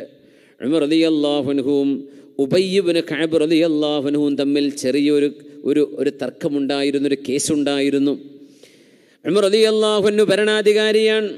ഉബയ്യബിന് കാബ് അള്ളാഹുനു സയ്യിദുൽ ഖുറാ ഖുർആൻ പണ്ഡിതന്മാരുടെ നേതാവാണ് ഉബയ്യബിന് കാബ് റളിയല്ലാഹുൻഹു ബഹുമാനപ്പെട്ട അമർ അലി അള്ളാഹുനു പറഞ്ഞു ഉബയ്യബിന് കാബേ നമ്മൾ രണ്ടുപേർക്കും ഇടയിൽ വിധി പറയണം. വിധി പറയാൻ നമുക്ക് ആരെയെങ്കിലും ഒരാളെ സമീപിക്കണം. നോക്കുമ്പോൾ സ്വഹാബിമാരിൽ പണ്ഡിതനായ സെയ്ദ് ബുനസാബിത്ത് സാബിത്ത് റളിയല്ലാഹുവിനെ കിട്ടി. സെയ്ദ് ബുനസാബിത്ത് സാബിത്ത് റളിയല്ലാഹുവിനോട് ചെന്ന് പറഞ്ഞു സെയ്ദേ നിങ്ങൾ ഞങ്ങൾക്കിടയിൽ വിധി പറയണം. അന്ന് അങ്ങനെയാണ്. അന്ന് ജഡ്ജ് എന്ന് പറയുന്ന ഒരാളെ ഒരു ജോലിയായിട്ട് അവരോധിക്കപ്പെടുന്ന അവസ്ഥകളുണ്ട് പക്ഷെ കുറവാണ്. ചില ആളുകളോട് പറയും നിങ്ങളാണ് ഞങ്ങളുടെ ജഡ്ജ് ഈ വിഷയത്തിൽ. നിങ്ങളൊരു വിധി പറയേ. എന്ന് പറയും. സെയ്ദ് ബിൻ സാബിത്ത് റളിയല്ലാഹുവിന്റെ വീട്ടിലേക്ക് കയറി ചെല്ലുന്നു. അമീറുൽ മുഅ്മിനീൻ ഉമർ അലി ഉമർ എന്നവർ പ്രതിയാണ് വാദിയാണ് ഉബയ്യബിന് അലി അള്ളാഹുനഹു രണ്ടുപേരും കയറി ചെന്നപ്പോൾ സെയ്ദ് ബിൻ സാബിത്ത് റളിയല്ലാഹുൻ ഉമർ തങ്ങൾക്ക് ഇരിക്കാൻ വേണ്ടി പ്രത്യേകം ഒരു ഇരിപ്പിടം കൊടുത്തതിന് പറഞ്ഞു അമീറുൽ മുഅ്മിനീൻ നിങ്ങൾ ഇവിടെ ഇരിക്കിൻ. നിങ്ങളുടെ പ്രതിയായ ഉബയ്യബിന് കഅബ് എന്നവർ ഇവിടെ ഇരിക്കട്ടെ. ഉമർ അള്ളാഹുനു പറഞ്ഞു ലഖദ് ജുർത ഫിൽ ഫുതിയ വലാകിൻ അജ്ലിസു മഅ ഖസ്മി സെയ്ദ് ബിൻ സാബിത്തെ നിങ്ങളുടെ ഫത്വ ശരിയല്ല കേട്ടോ. നിങ്ങളിപ്പോഴേ അതിക്രമം ചെയ്തു. ഞാനും ഉബയ്യുബിന് കഴവും രണ്ടുപേരും കേസുമായി വന്നതാണ്. അതുകൊണ്ട് എനിക്കൊരു പ്രത്യേക പരിഗണന. എനിക്കൊരു പ്രത്യേക സീറ്റ് നിങ്ങൾ തരാൻ പാടില്ലല്ലോ. ഞാനും എന്റെ വാദിയും പ്രതിയും ഞങ്ങൾ രണ്ടുപേരും ഒരുമിച്ചാണല്ലോ ഇരിക്കേണ്ടത്. അതുകൊണ്ട് ഞാൻ ഉബയ്യുബിന് കാബിന്റെ കൂടെ ഇരിക്കാം. എനിക്ക് ഈ സീറ്റ് വേണ്ട. അങ്ങനെ വാദം കേൾക്കുകയാണ്. ഉബയ്യുബിന് കാബ് റതി അള്ളാഹുന് വാദിച്ചു. ഉമർ റതി അള്ളാഹുന് ഇത് നിഷേധിക്കാൻ പോവുകയാണ്. ഉമർ തങ്ങൾ നിഷേധിക്കാൻ പോവാണ്. ആ വിഷയം അങ്ങനെയല്ലെന്ന് പറയുന്നു. ഉബയ്യുബിന് കാബ് റതി അള്ളാഹുന് വാദി വാദിക്കുന്ന ആൾ തെളിവ് പറഞ്ഞാൽ പിന്നെ പ്രതി ചെയ്യേണ്ടത് സത്യം ചെയ്യലാണ്. ഒരിക്കലും ഞാനത് ചെയ്തിട്ടില്ല എന്ന് സത്യം ചെയ്യലാണ്. അപ്പോൾ ഉമർ അലി അള്ളാഹുവിന് സത്യം ചെയ്യാൻ പോകുന്നു. അപ്പോൾ സത്യം ചെയ്യുന്നത് ഇസ്ലാമിൽ ഉള്ളതാണ്. ഹെൽഫ് അൽ ഹെൽഫ് ബിൽ യമീൻ എന്ന് പറയും. അത് സത്യം ചെയ്ത പോലെ കാര്യങ്ങൾ ചെയ്തില്ലെങ്കിൽ അതിന് പ്രായശ്ചിത്തമുണ്ട്. ഉമർദി അള്ളാഹുൻഹു സത്യം ചെയ്യാൻ വേണ്ടി പോവാണ്. അപ്പോഴേക്കും വിധി പറയുന്ന ജഡ്ജായ സയ്യിദ് ബുന് സാബിത്ത് റലി അള്ളാഹുന് പറഞ്ഞു ഉബയ്യുബിന് കഅബേ ഉമർ റലി അള്ളാഹുനുഹുവിനെ ആ സത്യം പറയുന്ന വിഷയത്തിൽ നിന്നൊന്ന് ഒഴിവാക്കിക്കൂടെ എന്ന് പറഞ്ഞാൽ നിങ്ങൾ നിഷേധമായിട്ട് ഈ വിഷയത്തിൽ ഇടപെടാതെ ഉമർ അലി അള്ളാഹുവിന് ഒരു സത്യം ചെയ്യേണ്ട അവസ്ഥയുണ്ട് ഇവിടെ. അത് വരുത്താതെ ഈ കേസ് നിങ്ങൾക്ക് പരിഹരിച്ചൂടെ? ഉമർ തങ്ങൾ നിരപരാധിയല്ലേ? ഉമർ തങ്ങൾക്ക് സത്യം ചെയ്യേണ്ട ഒരു അവസ്ഥ ഉണ്ടാക്കാതിരുന്നൂടെ? ഇത് ഞാൻ നിങ്ങളോട് ഉമർ തങ്ങളുടെ വിഷയത്തിൽ മാത്രമേ ചോദിക്കുള്ളൂ കേട്ടോ. ഇനി നിങ്ങൾ വേറെ ആരോട് വേറെ ആരോട് ഞാൻ ഇങ്ങനെ പറയില്ല. പക്ഷെ എനിക്ക് അങ്ങനെ പറയാൻ തോന്നുന്നു. അമീറുൽ മുഅ്മിനീൻ നിങ്ങളുടെ ഈ കേസിൽ നിങ്ങൾക്കെതിരായി ഇവിടെ സത്യം ചെയ്ത് പറയേണ്ടതുണ്ട്. അതങ്ങ് ഒഴിവാക്കി കൊടുത്തൂടായിരുന്നോ എന്ന് ചോദിച്ചു സെയ്തു ബിൻ സാബിത്ത് റതി അള്ളാഹുനും ഇത് കേട്ടപ്പോൾ മഹാനായ ഉമർ റതി അള്ളാഹു ചാലാൻഹു സത്യം ചെയ്തുകൊണ്ട് പറഞ്ഞു സെയ്ദേ والله لا يدرك زيد القضاء حتى يكون عمر ورجل من عرض المسلمين عنده سواء സെയ്ദ് ബിൻ സാബിത്തെ നിങ്ങൾ ഞങ്ങളുടെ ജഡ്ജാണ് പക്ഷെ വിധി പറയും മുമ്പ് ഞാനൊന്ന് പറഞ്ഞോട്ടെ സെയ്ദെ നിങ്ങൾക്ക് വിധി പറയാനുള്ള അവകാശമുണ്ടാകുന്നത് ഈ ഉമറും ഈ ഉമർ മുസ്ലിമീങ്ങളിലെ സാധാരണക്കാരനെ പോലെ ഒരു സാധാരണക്കാരനായിട്ട് എന്നെ നിങ്ങൾക്ക് പരിഗണിക്കാൻ കഴിയുമ്പോഴേ നിങ്ങൾക്ക് ഞങ്ങളുടെ വിഷയത്തിൽ വിധി പറയാൻ കഴിയുകയുള്ളൂ. നിങ്ങളിപ്പോൾ എനിക്ക് വേണ്ടി എന്തിനായി പറയുന്നത്? എനിക്കെന്താ സത്യം ചെയ്തൂടെ? ഉമറതി അള്ളാഹുവിന് ഖലീഫയാണെന്നും പറഞ്ഞ് ഖലീഫയ്ക്ക് സത്യം ചെയ്യാതെ ആ വിഷയമൊന്ന് രമ്യമായി പരിഹരിച്ചുകൂടെ എന്ന് നിങ്ങൾ എന്തിന് എനിക്ക് വേണ്ടി വാദിക്കണം? ഞാനൊരു ഒരു കേസിന് വന്നതല്ലേ? ഞാനും മുസ്ലിമായ മറ്റൊരാളും ഒരേ ഗ്രേഡിൽ നിങ്ങളുടെ കണ്ണിലുണ്ടെങ്കിലേ നിങ്ങളുടെ വിധി സത്യമാകൂ. അതുകൊണ്ട് നിങ്ങളുടെ വിധി എനിക്ക് വേണ്ടെന്ന് പറഞ്ഞ് ഉമറതി അള്ളാഹുവിനവിടെ നിന്ന് ഇറങ്ങിപ്പോയിട്ടുണ്ട്. അതാണ് മുസ്ലിമീങ്ങളുടെ നേതാവ് അമീറുൽ മുഅ്മിനീൻ ഉമർബുൽ ഖത്താബ് റളിയല്ലാഹു ആരാണ് ഇങ്ങനെയൊക്കെ ചിന്തിക്കുക? അനുകൂലമായി വിധി കിട്ടാൻ എന്തൊക്കെയാണ് എന്തൊക്കെ എന്തൊക്കെയാണ് ആളുകൾ കാണിച്ചു കൂട്ടുന്നത്? മുസ്ലിമീങ്ങളുടെ ഭരണാധികാരിയാണ് ഈ ജഡ്ജ് ശരിയല്ല എന്ന് പറഞ്ഞത് എന്തിനു വേണ്ടി? തനിക്കൊരു പരിഗണന കൊടുത്തതിന്റെ പേരിൽ എന്നെ പരിഗണിക്കുകയോ? നിങ്ങൾ നീതി ചെയ്യണമേ നീതിയാണ് അള്ളാഹു ഇഷ്ടപ്പെടുന്നത് എന്ന് വിശുദ്ധമായ ഖുർആൻ. റളിയല്ലാഹു ചാലാൻഹും അബ്ബാസ് ബിൻ അബ്ദുൽ മുത്തലിബ് എന്നവരും തമ്മിൽ ഒരു ചെറിയ പ്രശ്നമുണ്ടായിരുന്നു. അബ്ബാസ് റളിയല്ലാഹുവിന് മസ്ജിദുൻ നബവിയുടെ അടുത്തൊരു വീടുണ്ട്. ആ വീട് ഉമർ അള്ളാഹുവിന് പറഞ്ഞു അബ്ബാസേ നിങ്ങൾ ആ വീട് എനിക്ക് വിൽക്കുമോ? ഞാനത് വാങ്ങിക്കാം. ഉമർ അലി അള്ളാഹുവിൻ അത് വാങ്ങിക്കുന്നത് താമസിക്കാനല്ല. ആ വീട് കൂടെ മസ്ജിദ് നബവിയിലേക്ക് ചേർത്താൽ അള്ളാഹുവിന്റെ റസൂലിന്റെ പള്ളി സൊല്ലാഹു അലൈ വസ്ല്ലം ആ മസ്ജിദ് ഒന്ന് വികസിപ്പിക്കേണ്ടതുണ്ട്. അപ്പോൾ ആ വീടങ്ങ് കിട്ടിയാൽ കുറച്ച് സ്ഥലമായല്ലോ. അബ്ബാസ് പറഞ്ഞു ഞാനത് വിൽക്കുന്നില്ല. അപ്പോൾ ഉമർ തങ്ങൾ പറഞ്ഞു വിൽക്കുന്നില്ലെങ്കിൽ എനിക്ക് വെറുതെ തന്നോളൂ. അതും തരില്ല എന്ന് പറഞ്ഞു. എന്നാൽ പിന്നെ മസ്ജിദിന്റെ വികസനത്തിന് നിങ്ങൾക്കങ്ങ് എടുത്തൂടെ? നിങ്ങളങ്ങ് ആ റസൂറുല്ലാഹി തങ്ങളുടെ പള്ളി കണ്ടില്ലേ? ജനങ്ങൾ തിങ്ങി നിറഞ്ഞു നിൽക്കുന്നത് സ്ഥലമില്ലല്ലോ. പള്ളി ഒന്ന് വികസിപ്പിക്കണ്ടേ? നിങ്ങളൊന്ന് നിങ്ങളുടെ വീട് പള്ളിയിലേക്ക് ചേർത്തി തന്നൂടെ? ഉമർ മൂന്ന് ചോദ്യമാണ് ചോദിച്ചത്. ഒന്നുകിൽ എനിക്ക് വിൽക്കണം അല്ലെങ്കിൽ എനിക്ക് വെറുതെ തരണം അല്ലെങ്കിൽ നിങ്ങളായിട്ട് പള്ളിയുടെ വികസനത്തിന് ഇത് കൊടുക്കണം. അബ്ബാസ് തങ്ങൾ പറഞ്ഞു ഞാൻ ഇപ്പോൾ ഇത് വിൽക്കാൻ തീരുമാനിച്ചിട്ടില്ല. ഉമർ തങ്ങൾക്കങ്ങ് ദേഷ്യം വന്നു. ഉമർ തങ്ങൾ പറഞ്ഞു ഈ വിഷയത്തിൽ വിധി പറയണം. ആര് വിധി പറയും? ജഡ്ജ് നോക്കുമ്പോൾ കിട്ടിയത് ഉബയ്യബിന് കാബ് റതി അള്ളാഹുനു നേരത്തെ ഉമർ തങ്ങളുടെ പ്രതിയായിരുന്ന ഉബയ്യ റതി അള്ളാഹുനു നോക്കണം അവരുടെ മനസ്സിലൊന്നും ഒരു വെറുപ്പില്ല നമ്മൾ എന്തെങ്കിലും ഒരു പ്രശ്നം ഉണ്ടായാൽ മരിക്കണവരെ അത് കൊണ്ടു നടക്കുമല്ലേ ഉമർ അലി അള്ളാഹുനുവിന്റെ നേരത്തെ പറഞ്ഞ വിഷയത്തിൽ ഉബയ്യബിന് കാബ് റതി അള്ളാഹുനു വാദിയാണ് ഉമർ എന്നൊരു പ്രതിയായിരുന്നു. അങ്ങനെ വിധി പറയാനാണ് സെയ്ദ് ബിൻ സാബിത്തിനടുത്തേക്ക് പോയത് അല്ലേ? ആ ഉബയ്യബിന് ഖൈബ് റതി അള്ളാഹുവിന്റെ ഇപ്പോൾ ഉമർ അള്ളാഹുനഹുവിന്റെ വിഷയത്തിൽ ജഡ്ജായിട്ട് വിധി പറയാൻ പോവുക അബ്ബാസ് എന്നവർക്ക് അബ്ബാസ് എന്നിവരെയും ഉമർ അള്ളാഹുനഹുവിനെയും വിസ്തരിച്ചു വിസ്തരിച്ചുകൊണ്ട് വിധി പറയാണ്.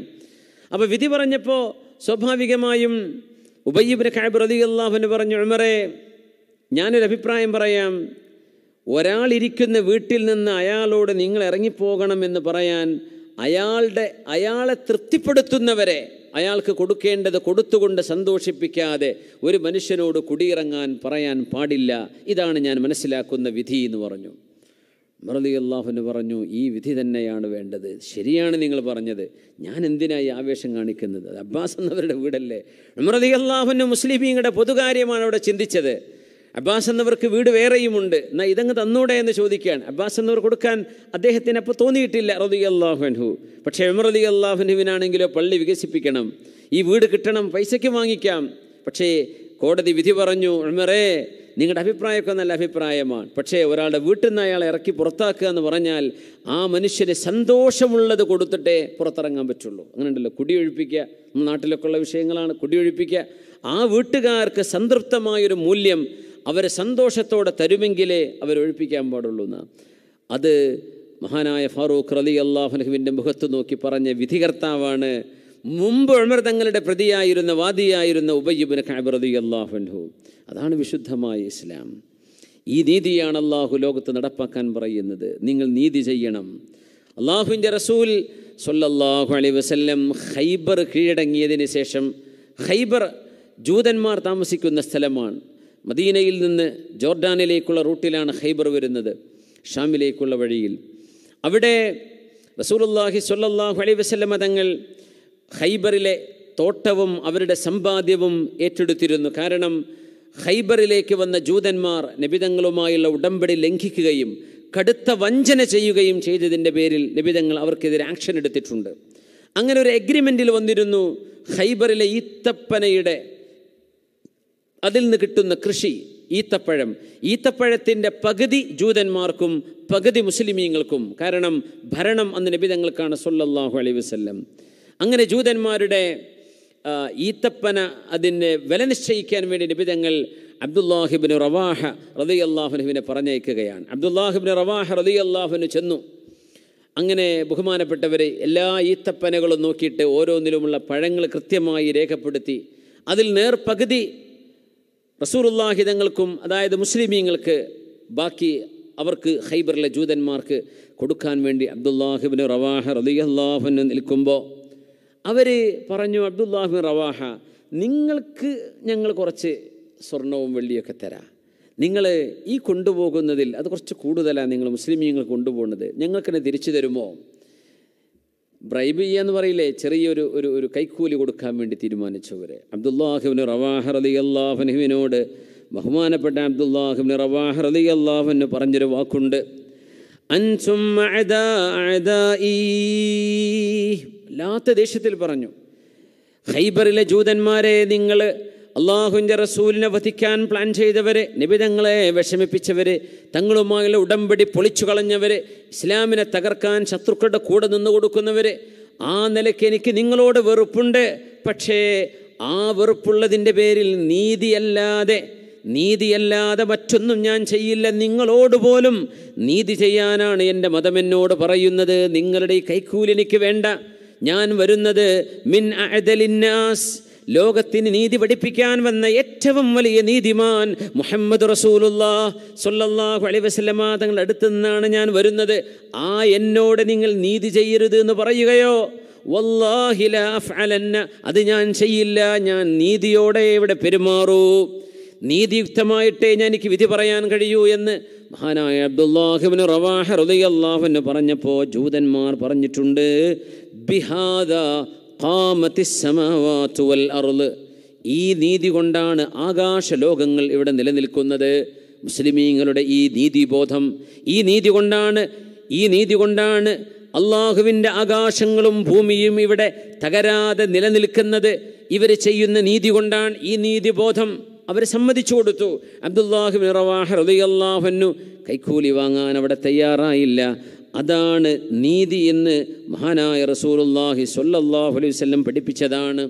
മാമിൻ അമീരി അഷറത്തിൻ ഇല്ലാ യുതാ ബിഹി മഗ്ലൂലൻ യൗമൽ ഖിയാമ ഹത്താ യഫുക്കഹൽ അദു യഫുക്കഹുൽ അദ്ലു ഔ യൂബിഖഹുൽ ജൗർ. പത്താളുടെ പത്ത് പേരുടെ ലീഡർഷിപ്പ് ഒരാൾക്ക് നൽകപ്പെട്ടു എന്നിരിക്കട്ടെ. മാമിൻ അമീരി അഷറ പത്താളുടെ ഒരു ലീഡറാണ് പത്താളുടെ ഒരു സൂപ്പർവൈസറാണ് പത്താളുടെ ഒരു മാനേജറാണ്. പത്ത് പേരുള്ളൂ അതിൽ താഴെയോ. കൂടുതലോ ആകട്ടെ ഇല്ല എല്ലാ ഉത്തരവാദിത്വമുള്ള ആളുകളെയും മാനേജർമാരെയും അള്ളാഹു കൈകൾക്ക് ആമം വെച്ചിട്ടാണ് ഖിയാമത്ത് നാളിൽ കൊണ്ടുവരുന്നത്. നീതി ചെയ്തിട്ടുണ്ടെങ്കിൽ ആ കൈകളിലെ ആമം അവിടെ അഴിയും. ഔ യൂബിഖഹുൽ ജൗർ അവൻ തിന്മയാണ് അതിക്രമമാണ് അനീതിയാണ് ചെയ്തിട്ടുള്ളതെങ്കിൽ ആ കൈകളിലൂടെ ആ കൈകൾ അങ്ങനെ തന്നെയായി നരകത്തിലേക്ക് പതിക്കുകയും ചെയ്യുമെന്ന് മഹാനായ ഷറഫുൽ ഹൽഖു റസൂലുല്ലാഹി സൊല്ലാഹു അലൈഹി വസല്ലം മഹസൂമിയത്തായ ഒരു പെണ്ണ് മോഷണം ചെയ്ത കഥയുണ്ട്. ഒരു ചരിത്രമുണ്ട് മക്കയിൽ. കുറേശി കുടുംബത്തിൽപ്പെട്ട പെണ്ണാണ്. അവളുടെ ഒരു സ്വഭാവം എന്ന് വെച്ചാൽ ആളുകളിൽ നിന്ന് വായ്പയ്ക്ക് സ്വർണം വാങ്ങും. മാലെന്ന് തരുമോ ഒരു കല്യാണത്തിനിടാനാണ് ഒരു ഫംഗ്ഷന് പോകാനാണ്?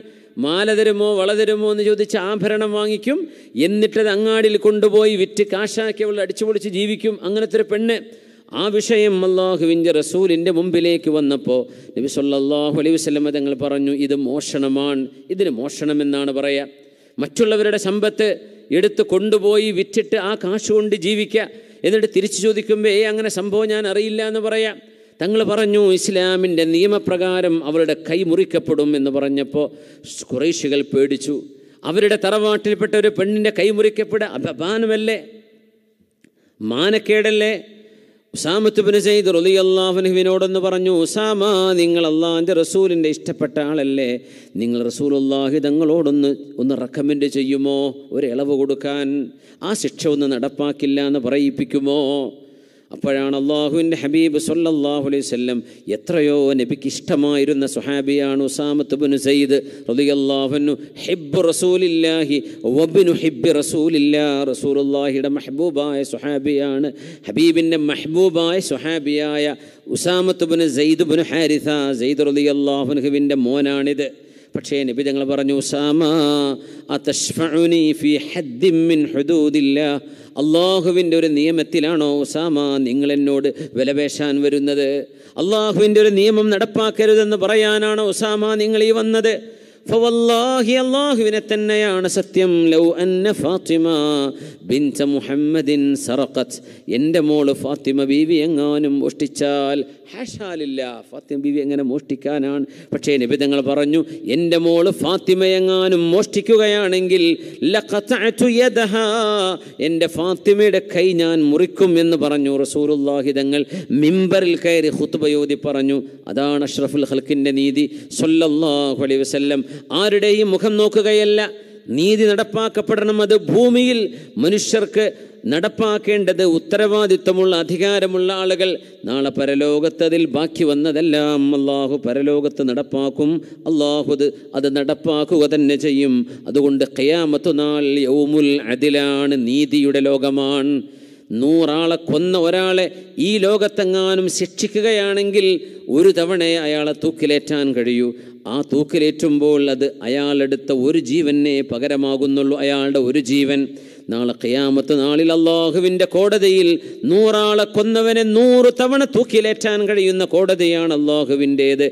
ലക്ഷക്കണക്കിന് ആളുകളെ കൊന്ന ഭരണാധികാരികൾക്ക് അത്രയും തവണ അള്ളാഹു ജനകോളികളുടെ മുമ്പിൽ വെച്ചവരെ ശിക്ഷിക്കും. അതാണ് അള്ളാഹുവിന്റെ അതിൽ അതാണ് അള്ളാഹുവിന്റെ നീതി. അതുകൊണ്ട് ഈ ഭൂമിയിലെ ജീവിതം പോലും ആർ അർത്ഥമുള്ളതാകുന്നത് പരലോകമുണ്ട് എന്ന വിശ്വാസം കൊണ്ടാണ്. പരലോകമില്ലെങ്കിൽ ഈ ലോകത്തെന്ത് നീതി? വേണ്ടതെല്ലാം ചെയ്ത് സ്വയം ആത്മഹത്യ ചെയ്ത ഒരാൾ മരിച്ചുപോയാൽ എവിടെ നീതിയുണ്ട്? പക്ഷേ അള്ളാഹുവിന്റെ കോടതിയിലേക്ക് അള്ളാഹു അവരെ കൊണ്ടുവരും എന്ന് മഹാനായ റസൂറുല്ലാഹി സൊല്ലാഹു അലഹി വസല്ലം ഹബീബായ നിബിതങ്ങളാണ് ഇവിടെ നീതി നടപ്പാക്കാൻ നമ്മളെ പഠിപ്പിച്ചത്.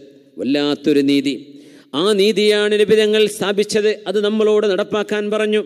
നിങ്ങൾ നിബിതങ്ങൾ പറഞ്ഞു നിങ്ങൾ ആരെങ്കിലും സ്വന്തം മക്കൾക്ക് സ്വന്തം മക്കൾക്ക് ദാനം ചെയ്യുകയാണെങ്കിൽ പോലും ഒരു വാപ്പ ഒരു ഉമ്മ മക്കൾക്ക് വിഹിതം വെച്ചു കൊടുക്കുകയാണ് അതിൽ പോലും നിങ്ങൾ നീതി ചെയ്യണം. ജീവിച്ചിരിക്കുമ്പോൾ ഒരാൾക്ക് അവരുടെ സ്വത്ത് എങ്ങനെ വേണമെങ്കിലും ഓഹരി വെക്കാം. ജീവിച്ചിരിക്കുന്ന സമയത്ത് ഉമ്മ പറയാൻ എന്റെ സ്വത്ത് ഞാൻ എല്ലാവർക്കും ഒരുപോലെ കൊടുക്കാൻ കൊടുക്കാം. ഉമ്മ പറയാണ് എന്റെ സ്വത്ത് ഞാൻ മുഴുവൻ പള്ളിക്കാണ് കൊടുക്കുന്നത് വഖഫാൻ ഉമ്മാക്ക് ചെയ്യാം. ഉമ്മാക്ക് വേണമെങ്കിൽ ഏതെങ്കിലും ഒരാൾക്ക് മാത്രം കൊടുക്കാം. പറ്റും ജായിസാൻ പക്ഷെ ചെയ്യരുത്. അത് തെറ്റാണ് ലുൽമാൻ ഉമ്മാക്ക് എന്തും ചെയ്യാം. വാപ്പാക്ക് എന്തും ചെയ്യാം അവരുടെ സ്വത്തിൽ. മരിച്ചു കഴിഞ്ഞാൽ പിന്നെ അനന്തര സ്വത്തനുസരിച്ച് വിധിക്കാം അള്ളാഹുവിന്റെ നിയമം മീറാത്തിന്റെ അനന്തരാവകാശ നിയമം ഇനി ഒരു ചർച്ചയോ അതിൽപ്പെട്ട ഒരു ഡിസ്കഷനോ ആവശ്യമില്ലാത്ത വിധം അള്ളാഹു ആണോഹരിയും പെണ്ണോഹരിയും ഭാര്യയ്ക്കെത്ര ഭർത്താവിനെത്ര ഉമ്മാക്കെത്ര വാപ്പാക്കെത്ര കൃത്യമായ കണക്ക് അള്ളാഹു മീറാത്തിന്റെ നിയമം ഖുർആാനിൽ വെച്ചിരിക്കുകയാണ്. ഒരാൾ മരിച്ചു കഴിഞ്ഞാൽ ആ നിയമം അനുസരിച്ചാണ് പിന്നെ സ്വത്ത് അവിടെ ഓഹരി വെക്കേണ്ടത്. പിന്നെ നമുക്കതൊന്നും വേണ്ട നമുക്കെല്ലാവർക്കും ഒരേപോലെ ആയാൽ പോരെ? അത് മരിക്കുന്നതിന് മുമ്പ് പറ്റും. വാപ്പ മരിക്കുന്നതിന് മുമ്പ് വാപ്പയുടെ സ്വത്തിനെ പറ്റി അങ്ങനെ വാപ്പാക്ക് പൊരുത്തമാണെങ്കിൽ ഓഹരി വെക്കാം. വാപ്പ മരിച്ചു കഴിഞ്ഞു. അനന്തര സ്വത്താണ്. അത് ഓഹരി വെക്കേണ്ടത് ഷറ അനുസരിച്ച് മാത്രമാണ്. അനന്തര സ്വത്തിന്റെ നിയമമുണ്ട് ഖുർആാനിൽ ഹദീസിലുണ്ട് വ്യക്തമാണ്. അതിനനുസരിച്ച് ഇത് ഓഹരി വെക്കാൻ പറ്റുള്ളൂ. ജീവിച്ചിരിക്കുന്ന സമയത്ത് മാതാപിതാക്കൾക്ക് അവരുടെ സ്വത്ത് വേണമെങ്കിൽ അവർക്ക് തന്നെ അടിച്ചു പൊളിച്ച് തീർക്കാം. അവർക്ക് വേണമെങ്കിൽ മുഴുവൻ ഒരാൾക്ക് ദാനം കൊടുക്കാം ഏതോ ഒരാൾക്ക്. അവർക്ക് വേണമെങ്കിൽ ഒരേപോലെ ഓഹരി വെക്കാം രണ്ടോഹരി മൂന്നോഹരിയുമായിട്ട് ഏറ്റവ്യത്യാസങ്ങൾ ചെയ്യാം. അവർക്കതിന് ജായിസാണ്. പക്ഷേ അള്ളാഹുവിന്റെ റസൂൽ പറഞ്ഞ ഒരു ഹദീസ് ഇമാം ബുഖാരി തങ്ങളുടെ സ്വഹീഹിലുണ്ട്. ഫിൽ നിങ്ങളുടെ മക്കൾക്ക് നിങ്ങൾ വല്ലതും കൊടുക്കുകയാണെങ്കിൽ മക്കൾക്കിടയിൽ ഉമ്മമാരെ ഉപ്പമാരെ നിങ്ങൾ നീതി ചെയ്യണം. ബൈന ഔലാദിക്കും ഫിൽ അത്വിയ അങ്ങനെയുണ്ട്. ചില ഉമ്മാർക്ക് പെൺകുട്ടികളെ മാത്രമായിരിക്കും ഇഷ്ടം. ആൺകുട്ടികളെ കണ്ടുകൂടാ. ആൺകുട്ടികളെ പ്രസവിച്ച ഉമ്മ തന്നെയാണ്. ആ ഉമ്മാന്റെ വയറ്റിൽ നിന്ന് തന്നെയാണ് ആൺകുട്ടികൾ വന്നത്. പക്ഷേ ഉമ്മാക്ക് ആൺകുട്ടികളെ കണ്ടുകൂടാ. ചില ഉമ്മാർക്ക് ആൺകുട്ടികളെ മാത്രമേ ഇഷ്ടം പെൺകുട്ടികളെ കണ്ടുകൂടാ. ചില ഉമ്മാർക്ക് അത്യാവശ്യം ജോലിയും സമ്പത്തൊക്കെ ഉള്ള മോനെ ഇഷ്ടം പണിയില്ലാതെ നടക്കുന്ന മോനെ ഇഷ്ടമല്ല. അങ്ങനെയും ചെയ്യാൻ പാടില്ല. നിങ്ങളുടെ മക്കളാണ്. അവരോട് നീതിയോടെയേ പെരുമാറാവൂ. കൊടുക്കുകയാണെങ്കിൽ നിങ്ങൾ അവർക്ക് നീതിയോടെ കൊടുക്കണം. നുഹ്മാനുബിന് ബഷീർ റളിയല്ലാഹുവിന്റെ സംഭവമുണ്ട്. മഹാനായ നുഹ്മാനുബിന് ബഷീർ റളിയല്ലാഹു ചാലാൻഹു പറയുന്നുണ്ട് എന്റെ ഉപ്പ എനിക്കൊരു എനിക്കൊരു ദാനം തന്നിരുന്നു. എന്റെ ഉപ്പ ഒരു ദാനം തന്നു. നുഹ്മാനുബിന് ബഷീർ റളിയല്ലാഹുന്നു മിമ്പറിൽ കയറി പറഞ്ഞൊരു വിഷയമാണിത്. താപിഴിങ്ങളുടെ കാലത്ത് എന്റെ ഉപ്പ എനിക്കൊരു ദാനം തന്നപ്പോൾ എന്റെ ഉമ്മ പറഞ്ഞു അംറാ ബിൻ റവാഹ എന്ന് പറയുന്ന എന്റെ ഉമ്മ അംറാ ബിൻ റവാഹ പറഞ്ഞു ബഷീർ എന്നവരെ നിങ്ങൾ കൊടുക്കുന്ന ഈ സമ്പാദ്യത്തിൽ എനിക്ക് പൊരുത്തക്കേടൊന്നുമില്ല. പക്ഷേ എന്റെ മകൻ അംറാ ബിൻ റവാഹ എന്നത് ബഷീർ എന്നവരുടെ ഭാര്യയാണ്. അവർക്ക് വേറെയും ഭാര്യയുണ്ട് ഭാര്യമാരുണ്ട് അവരിലും മക്കളുണ്ട്. എന്റെ മോന് അമ്ര എന്നവർക്ക് പറയാം എന്റെ മകൻ നൊഹ്മാനിനാണ് നിങ്ങൾ ഈ കൊടുക്കുന്നത്. ആ കൊടുക്കുന്നതിന് അള്ളാഹുവിന്റെ റസൂലിനെ നിങ്ങൾ സാക്ഷിയാക്കണം. റസൂലിനോട് പോയി പറഞ്ഞിട്ട് കൊടുത്താൽ മതി. അങ്ങനെ ബഷീർ അലി അള്ളാഹുവിന് പോയി അള്ളാഹിന്റെ റസൂലിന്റെ അടുത്തേക്ക് മഹാനായ നബിതങ്ങളോട് പറഞ്ഞു നബിയേ എന്റെ ഭാര്യ അമ്ര ബിൻ തുറവാഹയുടെ മകൻ നുഅ്മാൻ ബിൻ ബഷീർ എന്റെ മകൻ നുഅ്മാനിന് ഞാനിതാ ഒരു ദാനം കൊടുക്കുകയാണ് നബിയെ. ആ ദാനം നൽകുന്നതിന് അങ്ങ് സാക്ഷിയാവണം. തങ്ങൾ പറഞ്ഞു ഒറ്റ ചോദ്യം. അമ്രയുടെ മകനീ കൊടുത്ത പോലെ നിന്റെ മറ്റു ഭാര്യയിലുള്ള മക്കൾക്കും ഇതുപോലെ നീ കൊടുത്തിട്ടുണ്ടോ? അവർക്കും കൊടുക്കുന്നുണ്ടോ എന്ന് ചോദിച്ചു. കൊടുത്തിട്ടുണ്ടോ അല്ല കൊടുക്കുന്നുണ്ടോ? ഇല്ല നബിയെ ഇത് ഞാൻ നുഅ്മാനിന് മാത്രം കൊടുക്കാൻ ഉദ്ദേശിച്ചതാണ്. അള്ളാഹുവിന്റെ ഹബീബ് പറഞ്ഞു ഇതിന് സാക്ഷിയാവാൻ എന്നെ കിട്ടില്ല. ഫത്തഖുല്ലാഹ വഅദിലൂ ബൈന ഔലാദിക്കും ബഷീറേ നിങ്ങളുടെ മക്കൾക്ക് മുഴുവൻ നിങ്ങൾ നീതിയോടെ കൊടുക്കണം. നിങ്ങൾ അള്ളാഹുവിനെ ഭയപ്പെടേണമേ. ഇതിന് സാക്ഷി നിൽക്കാൻ ഞാനില്ല എന്ന് പറഞ്ഞു. മഹാനായ റസൂലുള്ളാഹി തങ്ങൾ അത് പറഞ്ഞതിന്റെ പേരിൽ. എല്ലാ മക്കൾക്കും കൊടുക്കാൻ അയാളെ കൊണ്ട് കഴിയില്ലായിരുന്നു. അതുകൊണ്ട് ഒരാൾക്ക് മാത്രം വേണ്ടെന്ന് പറഞ്ഞ് നുഴമാനുബിന് ബഷീർ അള്ളാഹുനുവിന് കൊടുക്കാൻ വെച്ചത് ബഹുമാനപ്പെട്ടവരുടെ ആ പിതാവ് ബഷീർ അള്ളാഹുന് തിരിച്ചു വാങ്ങി. ഈ സംഭവം ഇമാം ബുഖാരി റഹ്മത്തുല്ലാഹി അലഹി സ്വഹീഹിൽ ഉദ്ധരിച്ചിട്ടുണ്ട്. അതാണ് നീതി. ഏതൊരു ഉമ്മയും വാപ്പയും വളരെ വ്യക്തമായി ചെവി തുറന്ന് കേൾക്കണം. മക്കളെ സ്നേഹിക്കണം. നീതിയുക്തമായിട്ട് അവർക്ക് കൊടുക്കുന്നതിൽ നീതി വേണം. എല്ലാവരെയും ഒരുപോലെ ഇവൾ എന്നെ നോക്കിയവരാണ്. നോക്കിയതിന് കൂലി കൊടുക്കും. എന്നെ നോക്കിയ മോളാണ്. അവൾ ഓൾക്ക് മുഴുവൻ കൊടുക്കട്ടെ. ഇവനെ നോക്കിയിട്ടില്ലല്ലോ. നോക്കാത്തതിന്റെ കുറ്റം അവരല്ലാഹുവിൽ നിന്ന് അനുഭവിച്ചോളും. പക്ഷേ ഇവിടെ നിങ്ങൾ നൽകുന്ന ദാനത്തിൽ നിങ്ങൾ നീതി ചെയ്യണമെന്ന് അള്ളാഹു നിങ്ങളോട് കൽപ്പിച്ചിരിക്കുകയാണ്. അത് വലിയ വിഷമായിരിക്കും. ഉമ്മാന്റെ വാപ്പാന്റെ സ്വത്ത് അടിച്ചു മാറ്റാൻ വേണ്ടി മാത്രം അവസാന കാലം ഉമ്മാനെ വാപ്പാനെ നോക്കണ മക്കളും ഉണ്ട് കേട്ടാ. അങ്ങനെയുണ്ട്. ആ കാല അവസാന കാലം വരുമ്പോൾ എന്നിട്ട് വല്ല പറയും മരിച്ചതിന് ശേഷം ഉമ്മാന്റെ വസീയത്തുണ്ട്. ആ പേരെ എനിക്കാണ്. ഉമ്മ അത് പറഞ്ഞിട്ടുണ്ടാവില്ല ഉമ്മ അറിഞ്ഞിട്ട് കൂടി ഉണ്ടാവില്ല. മരിച്ചുപോയ ഉമ്മാനെ വല്യമ്മാനെ പറ്റി പറയണത് പിന്നെ ഈ ആളായിരിക്കും വല്യമ്മാന്റെ കൂടെ ജീവിച്ചിട്ടുണ്ടാവുക അവസാന കാലം. പച്ച നുണ പറഞ്ഞിട്ട് സമ്പത്തടിച്ചു മാറ്റുക. സുബഹാനല്ലാ. എവിടെയൊക്കെ അതൊക്കെ കൊണ്ടുപോയി വെക്കുന്നത്? ഒരു മിനിറ്റ് ശ്വാസം നിന്നാൽ തീരുന്നൊരു ലോകത്താണ് നമ്മളുള്ളത്. സുബഹാന റബ്ബി. അതുകൊണ്ട് ലത്തക്കുലു അംവാലന്ന സിബൈനക്കും ബിൽ ബാത്തുൽ. നിങ്ങൾ അനുമതിയില്ലാതെ പൊരുത്തമില്ലാതെ സമ്പത്ത് നിങ്ങൾ എടുക്കരുത് എന്ന് വിശുദ്ധ ഖുർആൻ പറയാം. നിങ്ങളത് തിന്നരുത്. ഹക്കായ ഹക്കല്ലാത്തത് പൊരുത്തമില്ലാത്തത് ഒരാളുടെ വസൂയത്ത് ഇല്ലാത്തത് ഉണ്ട് എന്ന് പറയാം. എത്ര വിഷമുണ്ടാക്കും എന്തെല്ലാം ബുദ്ധിമുട്ടുകൾ ഉണ്ടാക്കും അതിൽ. വസൂയത്തുകൾ ഉണ്ടെങ്കിൽ കൃത്യമായി രേഖപ്പെടുത്തി വെക്കുക. വസീയത്തുകൾ സാക്ഷികൾ മുഖാന്തരം രേഖപ്പെടുത്തി കാണിച്ചു കൊടുക്കുക. ഉമ്മയും വാപ്പയും ഉണ്ടെങ്കിൽ ആ തെളിവിനനുസരിച്ചാവട്ടെ വസീയത്ത് ചെയ്താൽ സമ്പത്തിന്റെ മൂന്നിലൊന്നാണ്. പിന്നെ മരണശേഷം നടപ്പാക്കുക എന്ന് ഒരാൾക്ക് ഒരു കോടി രൂപ ഉണ്ടെന്ന് വിചാരിക്കുക. അയാൾ പറഞ്ഞു എന്റെ മരണശേഷം ഈ ഒരു കോടിയും പള്ളിക്ക് വഖഫാണ് എന്ന് അല്ലെങ്കിൽ പള്ളിക്ക് ഞാൻ ദാനമായി കൊടുക്കാൻ തീരുമാനിച്ചു എന്റെ മരണശേഷം എന്നൊരാൾ പറഞ്ഞാൽ മരിച്ചു കഴിഞ്ഞിട്ടാണ് ദാനം. മരിച്ചു കഴിഞ്ഞാൽ എന്റെ സമ്പത്ത് പള്ളിക്കാണ് എന്ന് പറഞ്ഞാൽ സമ്പത്തിന്റെ മൂന്നിലൊന്നേ പള്ളിക്ക് കൊടുക്കാൻ പറ്റൂ. ബാക്കി മൂന്നിൽ രണ്ട് അനന്തര അവകാശ നിയമപ്രകാരം സ്വത്ത് ഓഹരി വെക്കപ്പെടേണ്ടതാണ്. ജീവിച്ചിരിക്കുന്ന കാലത്ത് മുഴുവൻ കൊടുക്കാം. മരിച്ചു കഴിഞ്ഞിട്ട് എന്റെ സമ്പത്ത് മുഴുവൻ എന്ന് പറഞ്ഞാൽ മുഴുവൻ കൊടുക്കാൻ പറ്റില്ല മൂന്നിലൊന്ന് വസൂയത്ത് വരുള്ളൂ. മൂന്നിലൊന്നിലെ വസൂയത്ത് നടപ്പാക്കപ്പെടുള്ളൂ. ബാക്കി രണ്ട് അനന്തരാവകാശ നിയമമേതോ ആ നിയമത്തിനനുസരിച്ച് ഓഹരി വെക്കപ്പെടണമെന്നാണ്. ഇത് അള്ളാഹുവിന്റെ അതിലാണ്. പടച്ചതമ്പുരാന്റെ അതിലാണ്. എന്തേപ്പോൾ ആണോഹരിയും പെണ്ണോഹരിയും പറയുമ്പോഴേക്കും ആരും വിഷമിക്കേണ്ടതില്ലല്ലോ. നമ്മളത് വിശദീകരിച്ചിട്ടുണ്ട്. ആണിന് പെണ്ണിന് കൊടുക്കുന്നതിന്റെ ഇരട്ടിയുണ്ട്. ലിദ്ദക്കരി മിസുൽ ഹദ്ദിൽ ഉൻസയൈൻ. എന്താ അതിന്റെ അർത്ഥം ആണിന് കിട്ടുന്ന സമ്പത്ത് പുരുഷന് കിട്ടുന്നത് അവന്റെ ഉമ്മാക്ക് ചിലവഴിക്കാനുള്ളതാ. അവന്റെ പെങ്ങൾക്ക് ചിലവഴിക്കണം അവന്റെ ഭാര്യയ്ക്ക് ചിലവഴിക്കണം അവന്റെ മക്കളെ പഠിപ്പിക്കണം മക്കളെ കെട്ടിച്ചയക്കണം അവന് വീടുണ്ടാക്കണം. ഇതിനൊക്കെ ഉപയോഗിക്കാനുള്ളതാ ആൺകുട്ടിക്ക് കിട്ടുന്ന രണ്ടോഹരി. പെണ്ണിന് കിട്ടുന്ന ഓരോഹരി അത് അവൾക്ക് വേണ്ട കാര്യങ്ങൾ അവൾ മാത്രം ചിലവഴിച്ചാൽ മതി. അവൾ കുടുംബം നോക്കേണ്ടതില്ല. അവൾ മക്കൾക്ക് ചിലവ് കൊടുക്കേണ്ടതില്ല. അവൾ വീട് വെക്കേണ്ടതില്ല. അവരാരെയും സഹായിക്കൽ അവൾക്ക് നിർബന്ധമില്ല. പക്ഷേ പുരുഷൻ അങ്ങനെയല്ല അവന് കുടുംബം നോക്കൽ നിർബന്ധമാണ്. പുരുഷന് കിട്ടുന്ന മുഴുവൻ കുടുംബത്തിനോ സമ്പാദ കുടുംബത്തിന് ചെലവഴിക്കാനുള്ളതാണ് പെണ്ണിന് കിട്ടുന്ന ഓരോഹരി അത് അവൾക്ക് മാത്രമാണ്. ആ നിലയ്ക്ക് പെണ്ണിനും ആണിനും ഒരേപോലെയാണ് അള്ളാഹു നിയമം വെക്കുന്നതെങ്കിൽ പെണ്ണിന് അഞ്ഞൂറാണെങ്കിൽ ആണിനും അഞ്ഞൂറ് എന്ന് പറഞ്ഞാൽ ദുൽമല്ലേ ഇത്? ആ അഞ്ഞൂറ് അവൾക്ക് എടുത്തു വെക്കാം. ഇവന്റെ അഞ്ഞൂറ് ചെലവഴിക്കാനുള്ളതാ. അതുകൊണ്ടാണ് അള്ളാഹു അവന് രണ്ടോഹരിയുണ്ട് എന്ന് പറയാൻ കാരണം. പുരുഷന്റേത് ചെലവഴിക്കാനുള്ളതാണ്. അപ്പോൾ അവന് പെണ്ണിനെ പോലെ കിട്ടിയാൽ പോരാ. അവൻ എന്തെങ്കിലും ചെലവഴിക്കണമെങ്കിൽ തന്നെ അവന്റെ കയ്യിൽ ഏറെ വേണം. അതിനാണ് അള്ളാഹു ലിദ്ദക്കരി മിസുൽ ഹല്ലിൽ ഉൻസയൈൻ. അതും അള്ളാഹു ചെയ്തൊരു നീതിയാണ്. അള്ളാഹുവിന്റെ അതിലാണ്. അള്ളാഹുവിന്റെ അതിലാണ്. ഫത്തഖുല്ലാഹ വഅദിലൂ ബൈന ഔലാദിക്കും. അതുകൊണ്ട് നിങ്ങൾ അള്ളാഹുവിനെ പേടിക്കണമേ. നിങ്ങൾ അള്ളാഹുവിനെ പേടിക്കണമേ. മക്കൾക്കിടയിൽ നീതി ചെയ്യണം എന്ന് പരിശുദ്ധ റസൂൽ സൊല്ലാഹു അലൈഹി വസല്ലം. റസൂലുല്ലാഹി സൊല്ലാഹു അലൈഹി വസല്ലമ തങ്ങൾ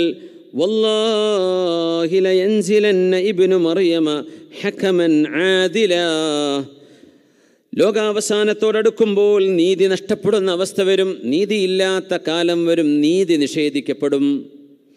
എന്നിട്ട് നബി തങ്ങൾ പറഞ്ഞു വല്ലാഹി ലയൻസിലന്ന ഇബ്നു മറിയമ ഹകമൻ ആദില. മഹാനായ ഈസബിന് മറിയം അലിഹിസ്സലാം. മറിയം ബീവിയുടെ പുത്രൻ ഈസ നബി അലിഹിസ്സലാം ഭൂമിയിലേക്ക് ഇറങ്ങി വരും. ഹഖമൻ ആദില നീതിമാനായ ഭരണാധികാരിയായിട്ടാണ് ഇറങ്ങി വരുന്നത്. ഈസ നബി അലിഹിസ്സലാം ഭൂമിയിലേക്ക് വരും. ശരീഅത്തുൻ നബി മുഹമ്മദ് മുസ്തഫ സൊല്ലാഹു അലൈ വസല്ലമ തങ്ങളുടെ ശരീഅത്തും വിശുദ്ധ ഖുർആാനിന്റെ അഹ്കാമും ലോകത്ത് വിളിച്ചു പറയാനും നടപ്പിലാക്കാനും വരുന്ന നബിയാണ് നബിയുല്ലാഹി ഐസബിന് മറിയം അലഹിസലാം വല്ലാഹി മറിയം ആദില. നീതിമാനായിട്ട് നീതി നടപ്പാക്കാൻ വരും. അതിനു മുമ്പ് വരുന്നുണ്ട് ലാ തഖൂമുസ്സാഅ ഹത്താ മിൻ അഹ്ലി أجلا وأقنى يملأ الأرض عدلا كما ملئت قبله ظلما. ഇമാം മഹദി റളിയല്ലാഹുവിന്റെ വരവിനെ കുറിച്ചാണ് പറയുന്നത്. ഇമാം അഹ്മദ് എന്നവർ അവരുടെ മുസ്നദിൽ ഉദ്ധരിച്ച ഹദീഥാണത് ഏഴ് വർഷക്കാലം ഭരണം നടത്തുന്ന ഒരാൾ എന്റെ അഖിലുബൈത്തിൽ നിന്ന് സയ്യിദായി വരുന്ന ഒരാൾ വരുന്നുണ്ട്. യുവാത്തി ഉസ്മു ഹുസ്മി വസ്മു അബി ഹിസ്മ അബി. എന്റെ ഉപ്പയുടെ പേരാണ് അവരുടെ ഉപ്പാക്ക്. എന്റെ പേരാണ് അവർക്ക്. അതായത് മുഹമ്മദ് ബുൻ അബ്ദില്ലാഹി അൽ ഹാഷിമിയിൽ ഖുറഷി എന്ന പേരുള്ള ഇമാമുന മഹ്ദി റഹ്മത്തുല്ലാഹി തആല അലൈ ഭൂമിയിലേക്ക് കടന്നു വരും യംല ഉൽ അർള അദിലൻ ഖിസ്തം വഅദില ഭൂമിയെ നീതി കൊണ്ട് നിറക്കും. കമാ മുലിഅത്ത് ദുൽമൻ കമാ മുലിഅത്ത് ഖബ്ലഹു ദുൽമൻ വജൗറാ അവരുടെ വരവിന്റെ മുമ്പ് ഭൂമിയാകെ അക്രമങ്ങൾ കൊണ്ട് അനീതി കൊണ്ട് നിറഞ്ഞു നിൽക്കുകയായിരിക്കും. അനീതി കൊണ്ട് നിറയുന്ന ഒരു കാലം എവിടെ പോയാലും നീതി കിട്ടാത്ത കാലം എല്ലാ കോടതികളും സ്വാധീനിക്കപ്പെടുന്ന കാലം നീതി നിഷേധിക്കപ്പെടുന്നൊരു കാലത്ത് നീതി നടപ്പാക്കാൻ വരുന്ന ഒരാളുണ്ട്. എന്റെ എന്റെ അഖിലുബൈത്തിൽപ്പെട്ട ആളാണത്. യകൂനു സബ്അ സിനീൻ. ഏഴ് വർഷമായിരിക്കും അവർ ഭൂമിയിലുണ്ടാവുക എന്നും മഹാനായ റസൂലുല്ലാഹി സ്വല്ലല്ലാഹു അലൈഹി വസല്ലം മാമഹദി തങ്ങൾ വന്ന് ഏഴ് വർഷം കഴിഞ്ഞാൽ നീതി വീണ്ടും സ്ഥാപിക്കാൻ വരുന്ന ആളാണ് നബിയുല്ലാഹി ഐസബിന് മറിയം അലിഹിസലാം അതുകൊണ്ട് ലോകാവസാനം വരെ നീതി അള്ളാഹു കാത്തു സൂക്ഷിക്കും. അത് കഴിഞ്ഞാൽ യൗമുൽ അതിൽ യൗമുൽ ബഅത്ത് പുനരുദ്ധാരണ നാൾ the day of recompense the day of resurrection അത് ദ ഡേ ഓഫ് ജസ്റ്റിസ് അത് സമാധാനത്തിന്റെ നീതിയുടെ തുലാസ് അള്ളാഹു നാട്ടുന്ന സമയമാണ്. അന്ത്യനാളിൽ അള്ളാഹു നീതിയുടെ തുലാസാണ് നാട്ടിവെക്കുന്നത്. എല്ലാവർക്കും നീതി. എല്ലാവർക്കും നീതി. ഹത്താ യുഖാദ. നിബിതങ്ങൾ പറഞ്ഞു കൊമ്പുണ്ടായിരുന്ന ഒരാട് കൊമ്പില്ലാത്ത മറ്റൊരാടിനെ കുത്തി പരിക്കേൽപ്പിച്ചിട്ടുണ്ടെങ്കിൽ ആ രണ്ട് ആടുകളെയും അള്ളാഹു മഷ്റയിൽ കൊണ്ടുവരികയും കർണ ആയ ആടിന് കർണ് കൊമ്പില്ലാതിരുന്ന ആടിന് കൊമ്പ് കൊടുത്ത് നിന്നെ കുത്തിയതുപോലെ തിരിച്ചു കുത്തിക്കോ എന്ന് പറഞ്ഞ് അള്ളാഹു നീതി നടപ്പാക്കിയിട്ട് പറയും കൂനു തുറാബ നിങ്ങൾ മണ്ണായി മാറിക്കോളൂ എന്ന് പറഞ്ഞ് ജീവജാലങ്ങളോട് നീതി നടപ്പാക്കിയതിന് ശേഷം അവരോട് മണ്ണാവാൻ പറയുമെന്ന് മഹാനായ റസൂറുല്ലാഹി സ്വല്ലല്ലാഹു അലൈഹി വസല്ലം അപ്പോഴാണ് മനുഷ്യരിൽ കുറ്റവാളികളായ ആളുകൾ പറഞ്ഞു പോകുന്നത്. ഇതുപോലെ പടച്ചവനെ ഞാനും മണ്ണായി മാറിയിരുന്നെങ്കിൽ എനിക്കൊരു വിചാരണ ഇല്ലായിരുന്നെങ്കിൽ ഒരു ശിക്ഷ എനിക്ക് നടപ്പാക്കപ്പെടില്ലായിരുന്നെങ്കിൽ എന്ന് തുറാബാ കാഫിറായ മനുഷ്യൻ ദൈവനിഷേധിയായ ആൾ പടച്ചവനില്ല എന്ന് പറഞ്ഞവൻ അന്നേരം പറയുമത്രേ യാ ലൈച്ചനീ കുന്തു തുറാബാ ഞാൻ മണ്ണായിരുന്നെങ്കിൽ എത്ര നന്നായിരുന്നേനെ. ആ നീതിയുടെ നാളാണ് അള്ളാഹു നടപ്പാക്കാൻ പോകുന്നത്. അതിലിന്റെ ദിവസമാണ് യൗമുൽ ആഹിറ ഇല്ലായിരുന്നെങ്കിൽ നീതി പൂർണമാകുമായിരുന്നില്ല. ഭൂമിയിൽ ഒരിക്കലും നീതി പൂർണമല്ല. പൂർണമായ നീതി നടപ്പാക്കപ്പെടുന്നത് യൗമുൽ ഖിയാമയിലാണ്. അതുകൊണ്ട് തന്നെ ദുന്യാവിൽ ആർക്കെങ്കിലും നീതി നിഷേധിക്കപ്പെടുകയാണെങ്കിൽ ഒരാൾ അതിക്രമത്തിന് വിധേയമാവുകയാണെങ്കിൽ അനീതിക്ക് വിധേയമാവുകയാണെങ്കിൽ അതിനല്ലാഹു കൊടുക്കുന്ന ഒരു ഒരു പ്രതിഫലമുണ്ട് അവരുടെ പ്രാർത്ഥനയ്ക്ക് ഉത്തരമുണ്ട്. അവരുടെ പ്രാർത്ഥനയ്ക്ക് ഉത്തരമുണ്ട്. ഒരാൾക്ക് തോന്നുന്നത് എന്നെ വെറുതെ ഒരാൾ ടെർമിനേറ്റ് ചെയ്തു. എന്റെ മാനേജർ എന്നോട് ദേഷ്യമുണ്ടായതിന്റെ പേരിൽ എന്തെങ്കിലും പേഴ്സണൽ റീസൺ കാരണം എന്നെ ഒരാളെ എന്റെ എന്റെ ലൈൻ മാനേജർ അല്ലെങ്കിൽ എന്റെ സൂപ്പർവൈസർ എനിക്ക് ടെർമിനേഷൻ നൽകി എന്റെ ജോലിയിൽ നിന്ന് പുറത്താക്കി അല്ലെങ്കിൽ എനിക്കെതിരെ അക്യുസേഷൻസ് ഉണ്ടാക്കി എന്തെങ്കിലും ഒരു അനീതിയാണ് നടക്കുന്നതെങ്കിൽ ആ മതുലൂമിന് അള്ളാഹു ദുആഇന് ഉത്തരം കൊടുക്കുന്നുണ്ട്. ഫഇന്നഹു ലൈസ ബൈനഹു വബൈനല്ലാഹി ഹിജാബ്. ആ അതിക്രമിക്കപ്പെട്ടവന്റെയും അള്ളാഹുവിന്റെയും ഇടയിൽ മറയില്ല എന്ന് മഹാനായ റസൂറുല്ലാഹി സൊല്ലാഹു അലഹി വസല്ലം മഹാനായ സഅദ് റലി അൻഹു കൂഫയിൽ മഹാനായ ഫാറൂഖ് റലി അള്ളാഹുനു നിയമിച്ചിരുന്ന ഗവർണറാണ് സഅദ് ബിൻ നബി വക്കാസ് റളിയല്ലാഹുൻഹു ദുആക്ക് ഉത്തരമുള്ള സുഹാബിയായിരുന്നു സഅദ് എന്നവർ പക്ഷേ കൂഫക്കാർ ചില മഹല്ലുകാരെ പോലെ എപ്പോഴും ഖത്തീബിനെ സംബന്ധിച്ച കംപ്ലൈന്റ് ആയിരിക്കും. അവിടെ ആര് വന്നാലും അയാൾക്ക് കംപ്ലൈന്റ് ആയിരിക്കും. അങ്ങനത്തെ ചില നാട്ടുകാരുണ്ടാവും. എന്ത് പറ്റൂല ഉസ്താദ് നിന്ന് ഇറങ്ങുമ്പോൾ ഇടത്തേക്കാൽ വെച്ചിട്ട് ഇറങ്ങിയതെന്ന് പറയും. ആ കാറിൽ കയറിയപ്പോൾ ഇടത്തേക്കാലം ഉണ്ടാ കയറിയെന്ന് പറയും. ഇങ്ങനെ എന്തെങ്കിലും ഒരു കുറവ് കണ്ടെത്തി ആളുകളെ ക്രൂശിക്കുന്ന ചില നാട്ടുകാരുണ്ടാവും. കൂഫക്കാർ അങ്ങനെയായിരുന്നു സ്വഹാബിമാരെ പറഞ്ഞേക്കും മറതി അള്ളാഹുന്നു ഓരെ പറ്റിയും കുറ്റം പറയും. അവർ പോരാന്ന് പറയും. സാധ്യത തങ്ങളെപ്പറ്റി കുറ്റം പറഞ്ഞു. കുറ്റം പറഞ്ഞു എന്ന് മാത്രമല്ല ഗുരുതരമായ ആരോപണം. ലാ യുഹ്സിനു യകാദു യുസല്ലി. നിസ്കരിക്കാൻ പോലും ശരിക്കും അറിയില്ല. ആരെ പറ്റിയാ പറയുന്നത്? മല്ലഹു അമ്മുൻ അമ്മഹു. എന്റെ അമ്മാവനെ പോലെ ആർക്കാണ് ഒരു അമ്മാവനുള്ളത് എന്റെ അമ്മാവനാണ് സഅദ്. സഅദ് അള്ളാഹുനുവിനെ പോലെ ആരുണ്ട്? നിങ്ങൾക്കെന്ന് നിബിതങ്ങൾ ചോദിച്ച സഅദ് അള്ളാഹുനു ഹബീബിന്റെ കൂടെ ഒരുപാട് ഗസുവത്തുകളിൽ സംബന്ധിച്ച സ്വഹാബി. ആ സ്വഹാബിക്ക് നിസ്കരിക്കാൻ അറിയില്ല. ആരായി പറയുന്നത് ഈ സാധ്യതങ്ങൾ തങ്ങൾ കൊണ്ടുപോയി നിസ്കാരം പഠിപ്പിച്ചു കൊടുത്ത ആൾക്കാരായി പറയുന്നത്. ഉമർലി അള്ളാഹുന്നു ഉമർദി അള്ളാഹുന്നു അന്വേഷണത്തിൽ ഉത്തരവിട്ടു. സംഭവം ശരിയാണെന്നറിയണ്ടേ? അങ്ങനെ അമ്മാറുബുന് യാസർ റതി അള്ളാഹുന്നു കുഫയിലേക്ക് ചെന്നു. എല്ലാ പള്ളിയിലും ചെന്നു. സാദ് എന്നവരെക്കുറിച്ച് എന്താ നിങ്ങളുടെ അഭിപ്രായം?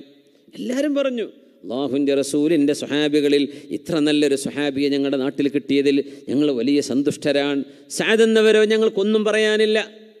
അദ്ദേഹം ഞങ്ങളിൽ ഏറ്റവും ഹൈറായ ആളാണ്. എല്ലാവർക്കും നല്ല അഭിപ്രായം. അവസാനം ബനു അബസ്സുകാർ താമസിക്കുന്ന ഒരു ഗോത്രമാണ് ബനു അബസ്. അവരുടെ പള്ളിയിലേക്ക് ചെന്നു. അവിടെ ഉണ്ട് ഒരു പ്രായമുള്ള ഒരാൾ. ആ പിന്നെ അമാ അന്നക നാശത്തന ഫഅഖൂൽ.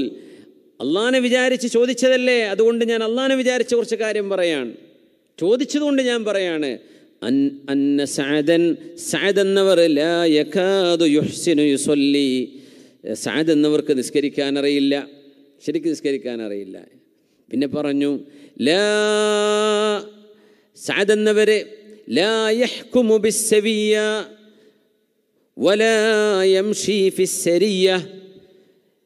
ധർമ്മസമരങ്ങൾ ഉണ്ടാകുമ്പോൾ സാദെന്നവരെ കൂടെ പോരുന്നില്ല. പിന്നെ ഓഹരി വെക്കുമ്പോൾ നീതിയുക്തമായിട്ട് ഓഹരി വെക്കുന്നില്ല. സാദർ തങ്ങളെക്കുറിച്ച് ഗുരുതരമായ ആരോപണം. സാദർ അലി അള്ളാഹുനുഹുവിന്റെ ചെവിയിൽ അതെത്തി സാദ് എന്ന് പറപ്പോൾ മദീനയിലാണ്. അലി അള്ളാഹുവിന് പറഞ്ഞു ഞാനെങ്ങാനും ഞാൻ എന്റെ എന്റെ ജീവിതത്തിൽ ഞാൻ ചെയ്യാത്തത് ഒരിക്കലും ഞാൻ അറിയാത്തത് എന്നെപ്പറ്റി കളവ് പറഞ്ഞ ഈ ബനു അബസുകാരൻ വല്ലാഹി ഞാൻ മൂന്ന് കാര്യങ്ങൾ വെച്ച് അയാൾക്കെതിരെ ദുആ ചെയ്യുകയാണ്. ഒരാൾക്ക് അങ്ങനെ ദുആ ചെയ്യൽ ജായിസാണ്. ദുആ നിങ്ങൾ ചെയ്യേണ്ടതില്ലെന്നാണ് അള്ളാഹുലേക്ക് വിടുക വേണ്ടത്. പക്ഷേ ചിലപ്പോഴൊക്കെ ദ്വാ ചെയ്തു പോകും അമ്മ അത്രക്കും കണ്ട് വേദനിപ്പിച്ചാൽ ചില ആളുകൾ ചില ആളുകളുടെ കുറ്റപ്പെടുത്തലുകളൊക്കെ ചിലപ്പോൾ അങ്ങ് കൂടിക്കഴിഞ്ഞാൽ നമ്മുടെ മനസ്സിനുള്ളിലെങ്കിലും ഒരു വേദന വരും. പഠിച്ചോനെ നീ അങ്ങ് കൊടുത്തേക്ക് റബ്ബേ എന്ന് നമ്മൾ മനസ്സുകൊണ്ട് പറഞ്ഞു പോകും. സാധെന്നവർ പറയാൻ അതൊരു മൊതലൂമിന് ജായിസാണെന്നാണ്. ആക്രമിക്കപ്പെട്ട ഒരാൾ അനീതി ചെയ്യപ്പെട്ട ഒരാൾ ഒരു തെറ്റും ചെയ്യാത്ത ഒരാളോട് നീ തെറ്റ് ചെയ്തു എന്ന് പറയാം? വെറുതെ കള്ളക്കേസ് ഉണ്ടാക്കുക? അങ്ങനത്തെ ഒരാൾക്ക് ദ്വാക്ക് ഉത്തരമല്ല കൊടുക്കുന്നുണ്ട്. അയാൾക്ക് തന്നെ അതിക്രമിച്ച ആൾക്കെതിരിൽ ദ്വാ ചെയ്യൽ ജായിസാണ്. പറ്റും. സാദെന്നവർ പറഞ്ഞു ഞാൻ ദ്വാ ചെയ്യുന്നു. അള്ളാഹുമ്മ അബ്ദുക ഹാദാ കാദിബ. പടച്ചവനെ ഈ മനുഷ്യൻ നുണയാണ് പറയുന്നതെങ്കിൽ റിയാഅൻ വസുംഅതൻ ആളാവാൻ വേണ്ടിയും നാലാൾ കേൾക്കാൻ വേണ്ടിയുമാണ് ഇയാളിത് പറഞ്ഞതെങ്കിൽ ഉംറഹു. പടച്ചവനെ നീ അയാൾക്ക് ഒരുപാട് ആയുസ് കൊടുക്ക്. ഫഖറഹു. അയാളുടെ ദാരിദ്ര്യവും നീട്ടിക്കൊടുക്ക്. ലിൽ ഫിതൻ അള്ളാഹുവെ അയാളെ ഫിത്തനകൾക്ക് നീ പാത്രീഭൂതനാക്കേണമേ ഫിത്തനകളിൽ കൊണ്ടുപോയി ഇട്ടേക്കേണമേ. മൂന്ന് ദ്വായാണ് ഒന്നാമത്തെ കേൾക്കുമ്പോൾ വിചാരിക്കും ദീർഘായുസനാണല്ലോ ദോരക്കേണ്ടത് അള്ളാഹും അത്തുൽ ഉംറഹു. കുറേ കാലം ജീവിക്കട്ടെ. പക്ഷേ വാത്തുൽ ഫഖറഹു. അത്രയും കാലം ദാരിദ്ര്യത്തിൽ ജീവിക്കണം.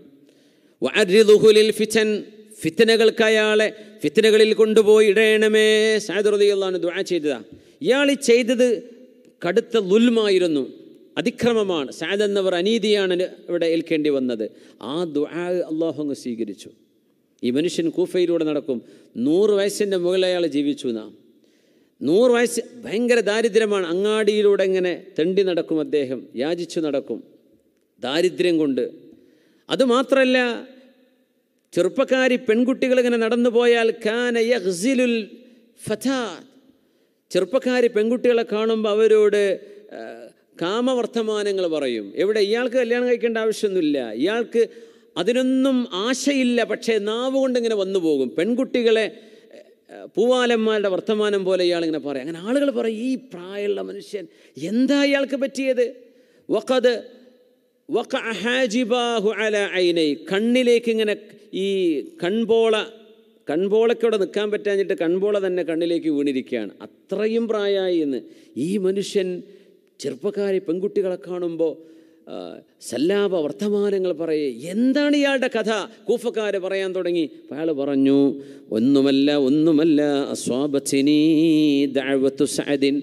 സഅദിന്റെ പ്രാർത്ഥനയാണ് എനിക്ക് പറ്റിപ്പോയത്. അതുകൊണ്ട് എന്നെ തെറ്റിദ്ധരിക്കല്ലേ? ഞാൻ സാദിന്റെ പ്രാർത്ഥനക്കാണ്.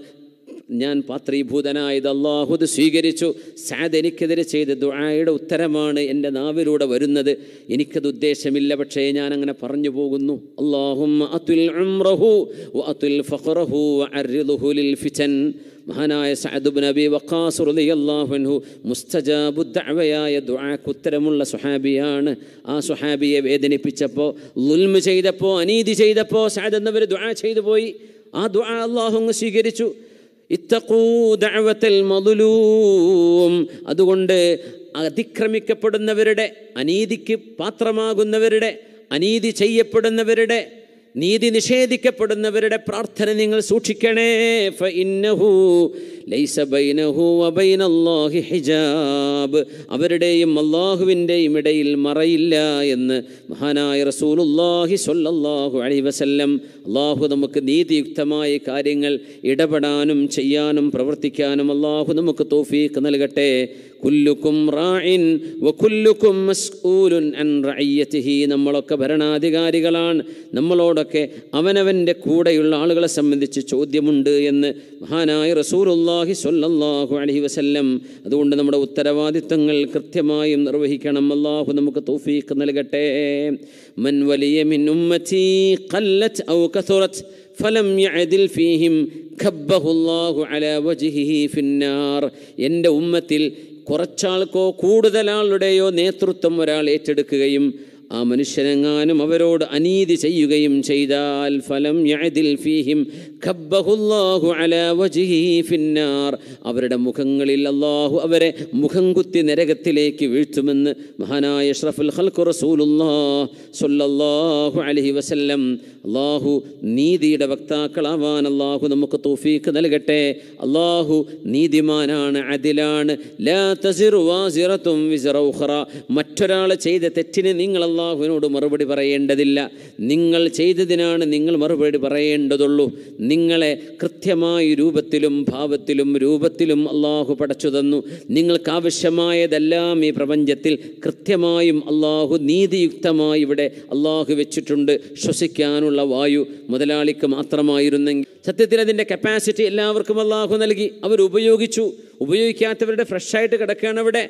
അള്ളാഹു എല്ലാം നീതിയുക്തമായിട്ടാണ് ചെയ്തത്. ഈ പ്രപഞ്ചത്തിലുള്ളത് മുഴുവനും ബിസ്മില്ലാഹി റഹ്മാനി റഹീം الرحمن علم القرآن خلق الإنسان علمه البيان الشمس والقمر بحسبان والنجم والشجر يسجدان والسماء رفعها ووضع الميزان അല്ലാ തത്തുഗൗ ഫിൽ മീസാൻ ആകാശഗംഗയെ പ്രപഞ്ചത്തെ മുഴുവൻ അല്ലാഹു നീതിയോടെ സംവിധാനിച്ചിരിക്കുകയാണ്.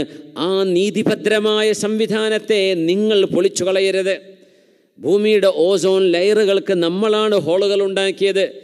അല്ലാത്തത്തുകൗഫിൽ മീസാൻ. ഞാനുണ്ടാക്കി വെച്ച ഭൂമിയുടെ ഭദ്രതയെ അന്തരീക്ഷത്തിന്റെ ഭദ്രതയെ പ്രപഞ്ചത്തിന്റെ കൃത്യമായ നിലനിൽപ്പിനെ നിങ്ങൾ തടസ്സപ്പെടുത്തരുത്. അള്ളാഹു പറയാണ് ആകാശ ലോകങ്ങളെ നീതിയുക്തമായിട്ടാണ് അള്ളാഹു സംവിധാനിച്ചത്. എല്ലാം അള്ളാഹുവിന്റെ അതിലാണ്. അള്ളാഹു നീതിമാനാണ്. അള്ളാഹുവിന്റെ അതിൽ കൊണ്ട് അള്ളാഹു നാളെ വിധിക്കുകയാണെങ്കിൽ അള്ളാഹു നന്മ ചെയ്തവരെ പോലും നരകത്തിലിടാൻ അള്ളാഹുവിന്റെ അള്ളാഹുവിന്റെ അതിൽ കൊണ്ട് അള്ളാഹു കഴിയുമത്രേ? എന്തുകൊണ്ടെന്നാൽ മനുഷ്യനെ സൃഷ്ടിച്ചത് അള്ളാഹുവാൻ അവന്റെ സൃഷ്ടി എന്ത് വേണമെങ്കിലും അള്ളാഹുവിന് ചെയ്യാം. പക്ഷേ അള്ളാഹു പറഞ്ഞു വഹൽ നന്മ ചെയ്തവർക്ക് നന്മയല്ലാതെ മറ്റെന്താണ് ഞാൻ കൊടുക്കേണ്ടത്? തിന്മ ചെയ്തവർക്ക് ശിക്ഷയും.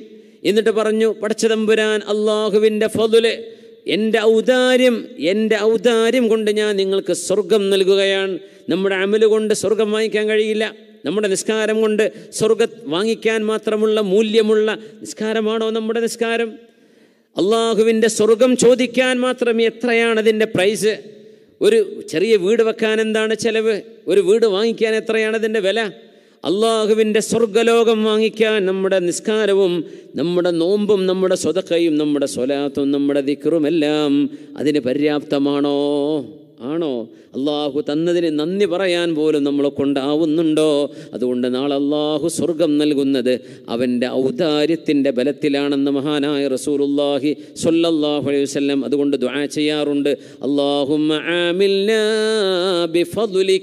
ലാ ബിഅദലിക് പടച്ചവനെ നിന്റെ നീതിയാണ് നീ നടപ്പാക്കുന്നതെങ്കിൽ നിന്റെ സ്വർഗത്തോളം ആ സ്വർഗം വാങ്ങിക്കാൻ മാത്രമുള്ള അമൽ ഞങ്ങളുടെ കൈകളിലില്ല. ഞങ്ങൾക്ക് സ്വർഗം നഷ്ടമാകും. അതുകൊണ്ട് പടച്ചവനെ നിന്റെ ഔദാര്യം കൊണ്ട് നീ ഞങ്ങളോട് പെരുമാറണം. നിന്റെ നീതി കൊണ്ടല്ല. നിന്റെ നീതി കൊണ്ടാണെങ്കിൽ ഞങ്ങൾക്കത് കിട്ടുകയില്ല. കാരണം ഞങ്ങളത് അർഹിക്കുന്നില്ല. അതുകൊണ്ട് റബ്ബേ ഞങ്ങൾക്ക് നീ സ്വർഗം നൽകണം. ബിഫദുലിക നിന്റെ ഔദാര്യം കൊണ്ട് എന്ന് ചോദിക്കാൻ പറഞ്ഞു. മഹാനായ റസൂലുല്ലാഹി സ്വല്ലല്ലാഹു അലൈഹി വസല്ലം നബിതങ്ങൾ പറഞ്ഞു ആർക്കും നാളെ സ്വർഗം കിഴിപ്പിക്കുകയില്ല അള്ളാഹുവിന്റെ റഹ്മത്ത് കൊണ്ടല്ലാതെ വല അൻത യാ റസൂലല്ലാഹ് ലൻ യുദ്ഖില അഹദുക്കും അൽ ലൻ യദ്ഖുല അഹദുക്കുമുൽ ജന്നത ബിഅമലി. നിങ്ങളാരും നിങ്ങൾ ചെയ്ത അമൽ കൊണ്ട് സ്വർഗത്തിൽ പോകില്ല. വല അൻതയ റസൂലല്ലാ നബിയെ നിങ്ങളും അങ്ങനെയാണോ? കാല നഅം അതെ. ഞാനും അങ്ങനെ എന്റെ അമൽ കൊണ്ടല്ല എനിക്ക് സ്വർഗം ലഭിക്കുക. ഇല്ല അൻ യതഗമ്മദനി അല്ലാഹു ബിറഹ്മതി. അള്ളാഹു അവന്റെ കരുണ കൊണ്ട് എന്നെ പൊതിഞ്ഞാലല്ലാതെ എനിക്ക് സ്വർഗം ലഭിക്കുകയില്ല. അതുകൊണ്ട് നമ്മുടെ കർമ്മങ്ങൾക്കപ്പുറം അള്ളാഹുവിന്റെ അതിലിന്റെ അപ്പുറം അള്ളാഹുവിന്റെ ഫതുലുണ്ട്. അതിൽ കഴിഞ്ഞാൽ അതിന്റെയും ഇതയാണ് ഫതുൽ ഫതുൽ എന്നത് അള്ളാഹുവിന്റെ ഔദാര്യമാണ്. അർഹിക്കുന്നതും അർഹിക്കാത്തതും അള്ളാഹു വാരിക്കോരി നൽകുന്നതാണ് അള്ളാഹുവിന്റെ ഫതുൽ അതുകൊണ്ട് നമുക്ക് പ്രാർത്ഥിക്കാം. റബ്ബേ. നിന്റെ ഫതുൽ കൊണ്ട് നീ ഞങ്ങളോട് പെരുമാറുകയും നീ ഞങ്ങൾക്ക് സ്വർഗം നൽകുകയും ചെയ്യണമേ. അമീൻ ബിറഹ്മതിക യാ അർഹമർ റഹീമീൻ. അള്ളാഹു റബ്ബുൽ അജ്ജത്ത് അള്ളാഹുവിന്റെ ഫതുൽ അള്ളാഹു നമുക്ക് നൽകട്ടെ. ഒരുപാട് ആളുകൾ ദുആ വസീയത്തുകൾ ഏൽപ്പിച്ചിട്ടുണ്ട്. നമ്മുടെ ഇരുപത്തി ഒന്ന് ഇസ്മുകളാണ് ഇപ്പോൾ നമ്മൾ പഠിച്ചു വെച്ചത്.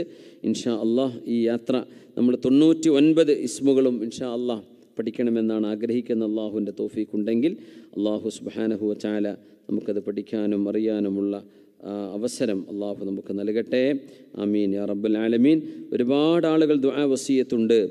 എനിക്ക് വളരെ പ്രിയപ്പെട്ട ഒരു അബ്ദുറഹ്മാൻ ഹാജിയുണ്ട് കാസർഗോഡ്. അദ്ദേഹത്തിന്റെ കുടുംബത്തിലെ ഒരുപാട് ആളുകൾ മരിച്ചുപോയ ഒരു മാസമാണ്. സഫർ മാസം ഒന്ന് ഉമ്മു ഹലീമ അദ്ദേഹത്തിന്റെ വളർത്തുമ്മയാണ്.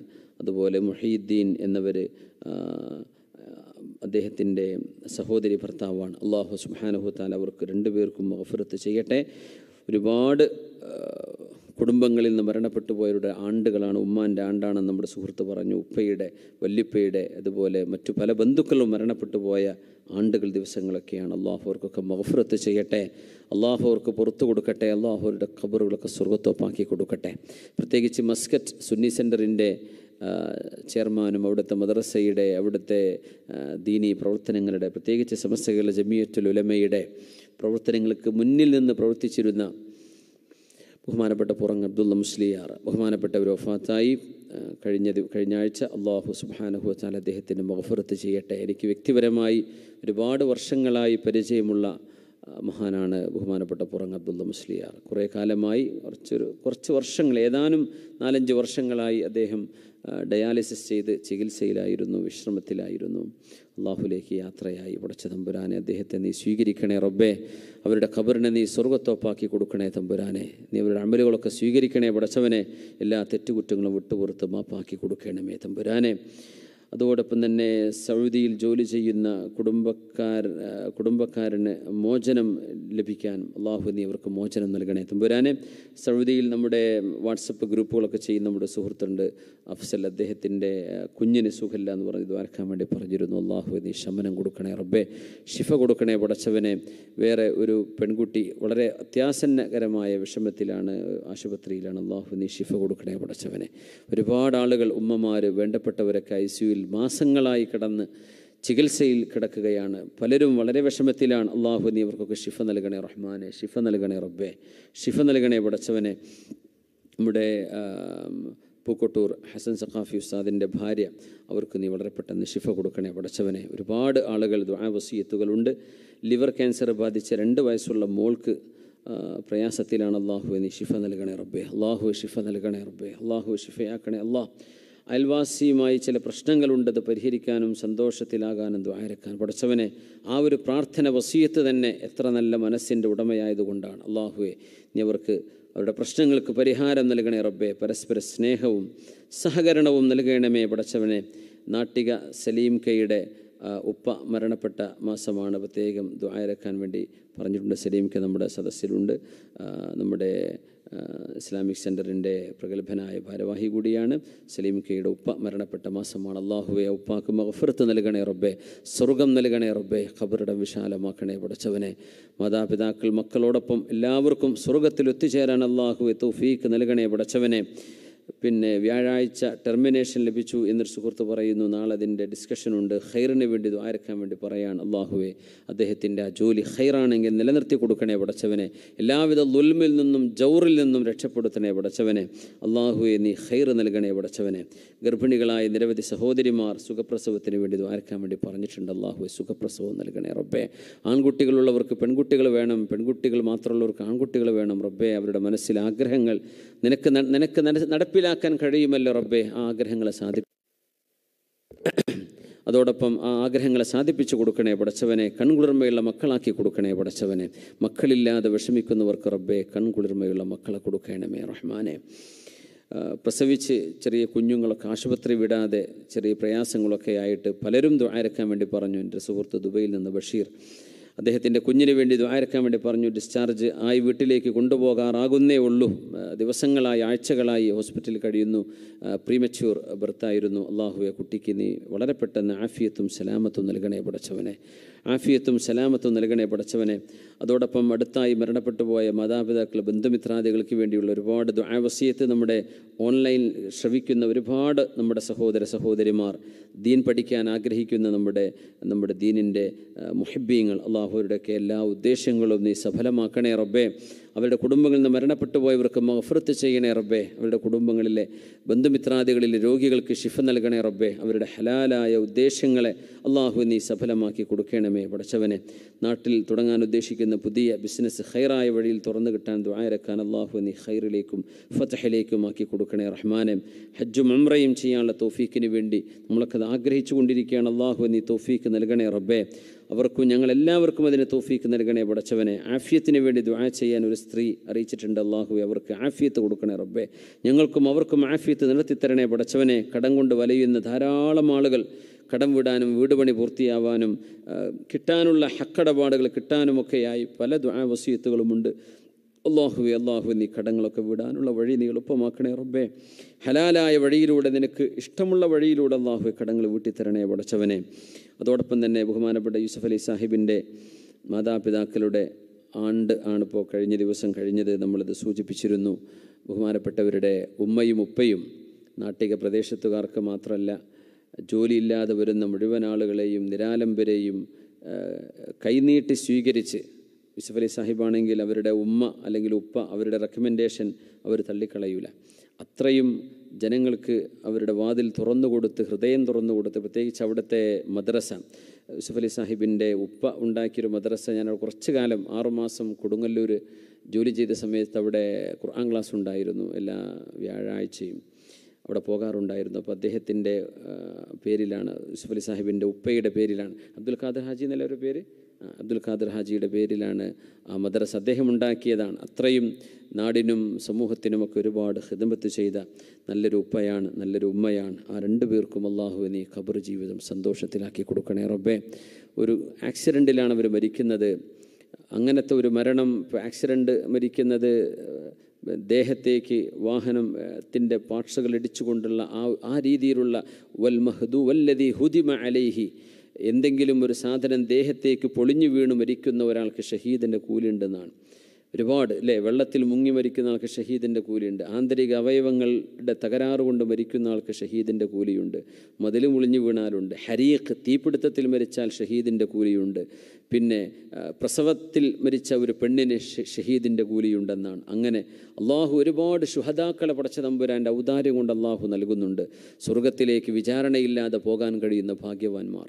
അള്ളാഹുവെ അത്തരം ഭാഗ്യവാന്മാരിൽ യൂസുഫ് അലി സാഹിബിൻ്റെ മാതാപിതാക്കളെ അവരുടെ ആണ്ട് ദിവസം അള്ളാഹുവെ പ്രത്യേകിച്ച് യൂസുഫ് അലി സാഹിബ് ഈ സ്ഥാ- പ്രസ്ഥാനത്തിൻ്റെ ഇന്ത്യൻ ഇസ്ലാമിക് സെൻറ്ററിൻ്റെ ചെയർമാനാണ് ഈ സ്ഥാപനത്തിൻ്റെ എല്ലാം എല്ലാമാണ് അതുകൊണ്ട് തന്നെ നമുക്കൊക്കെ ഒരു ധാർമ്മിക ഉത്തരവാദിത്വം കൂടിയുണ്ട് ആ മാതാപിതാക്കൾക്ക് വേണ്ടി ദുആ ചെയ്യാൻ അർഹമുറാഹിമെ എന്നിവർക്ക് മഗ്ഫിറത്ത് ചെയ്യണേ തമ്പുരാനെ അള്ളാഹു മഗ്ഫിർ ലഹുമ വർഹംഹുമ വആഫിഹിമ വഅഫു അൻഹുമ وأكرم نزلهما اللهم وسع مدخلهما واغسلهما بالماء والثلج والبرد اللهم نقهما من الخطايا كما ينقى الثوب الأبيض من الدنس اللهم أبدلهما دارا خيرا من دارهما وزوجا خيرا من زوجهما وجيرانا خيرا من جيرانهما وأهلا خيرا من أهلهما اللهم أدخلهما وأدخلنا الجنة وأعيذهما وأعيذنا من عذاب القبر فتنته ومن عذاب النار الله അവർ ചെയ്ത നന്മകളെ നീ സ്വീകരിക്കണേ റബ്ബേ തെറ്റുകുറ്റങ്ങളെ വിട്ടുപുറത്ത് മാപ്പാക്കണേ പടച്ചവനെ ആ പരിശുദ്ധരായ മാതാപിതാക്കൾക്ക് ഞങ്ങൾ ഓരോരുത്തരുടെയും മാതാപിതാക്കൾക്ക് ഞങ്ങളുടെ കുടുംബത്തിൽ മരണപ്പെട്ടു പോയവർക്കൊക്കെയും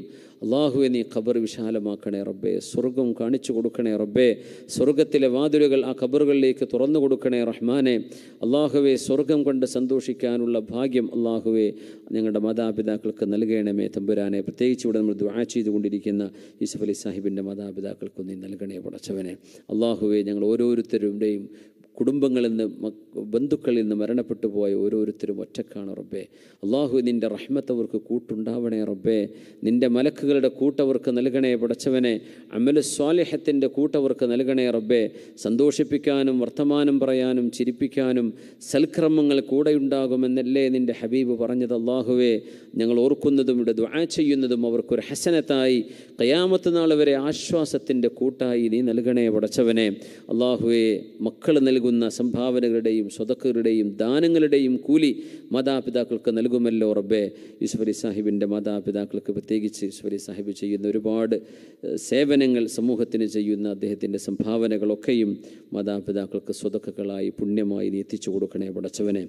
റഹമുറാഹിമായ റബ്ബെ ഈ പരിശുദ്ധമായ മജലിസിനെ നീ സ്വീകരിക്കണേ അള്ളാ ഇവിടെ ദ്വായരക്കാനുള്ള വസീയത്തുകൾ ഞങ്ങൾ പറഞ്ഞതും പറയാത്തതും ഞങ്ങളെ ഏൽപ്പിച്ചതും ഏൽപ്പിക്കാൻ മറ്റാരുടെങ്കിലും പറഞ്ഞേൽപ്പിച്ചതും അള്ളാഹു ഞങ്ങൾ അറിഞ്ഞതും അറിയാത്തതും എല്ലാം നിനക്കറിയുമല്ലോ. അല്ലാമല്ല ഒയൂബായ അള്ളാഹുവെ ഞങ്ങൾക്ക് നീ പുറത്തു തരണേ റബ്ബെ. റഹ്മാനായ കാരുണ്യവാനായ അതിലായ അള്ളാഹുവെ നിന്റെ പരമമായ നീതി അത് നീ നടപ്പാക്കുന്ന നാളിൽ നിന്റെ ഫതിൽ കൊണ്ട് ഔദാര്യം കൊണ്ട് നീ ഞങ്ങളെ സഹായിക്കണേ പടച്ചവനെ. അള്ളാഹു ഞങ്ങൾക്ക് ശരീരത്തിലും ഞങ്ങളുടെ ജീവിതത്തിലും മക്കളിലും കുടുംബത്തിലും സന്തോഷം നൽകണേ റബ്ബേ. കൺകുളിർമ നൽകണേ റബ്ബേ. മനസ്സമാധാനം നൽകണേ റബ്ബേ. ആഫിയത്ത് നിലനിർത്തണേ പടച്ചവനെ. അള്ളാഹുവെ ആഫിയത്ത് നിലനിർത്തണേ പടച്ചവനെ. പടച്ചവനെ അള്ളാഹുവെ മരണത്തിന്റെ അവസാന സെക്കൻഡ് വരേക്കും ആഫിയത്ത് നൽകണേ റബ്ബേ. അള്ളാഹുവെ ഒന്നിനും കഴിയാതെ രോഗികളായി കിടപ്പിലായി പോകുന്ന അവസ്ഥയിൽ നിന്ന് കാത്തുകൊള്ളണേ റഹ്മാനെ. ആരോഗ്യം നീ നൽകുന്ന വലിയൊരു ഔദാര്യമാണല്ലോ റബ്ബേ. അത് മരണം വരെ നിലനിർത്തിത്തരണേ പടച്ചവനെ.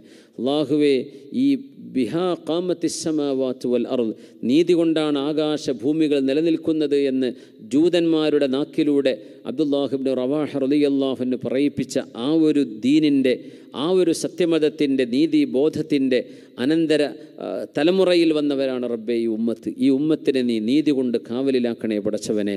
അള്ളാഹു ഈ ഉമ്മത്തിനെ നീ നീതി കൊണ്ട് കാവലിലാക്കണേ റബ്ബേ. ഈ ഉമ്മത്തിന് നീതി നിഷേധിക്കപ്പെടാതെ നീ കാക്കണേ പടച്ചവനെ.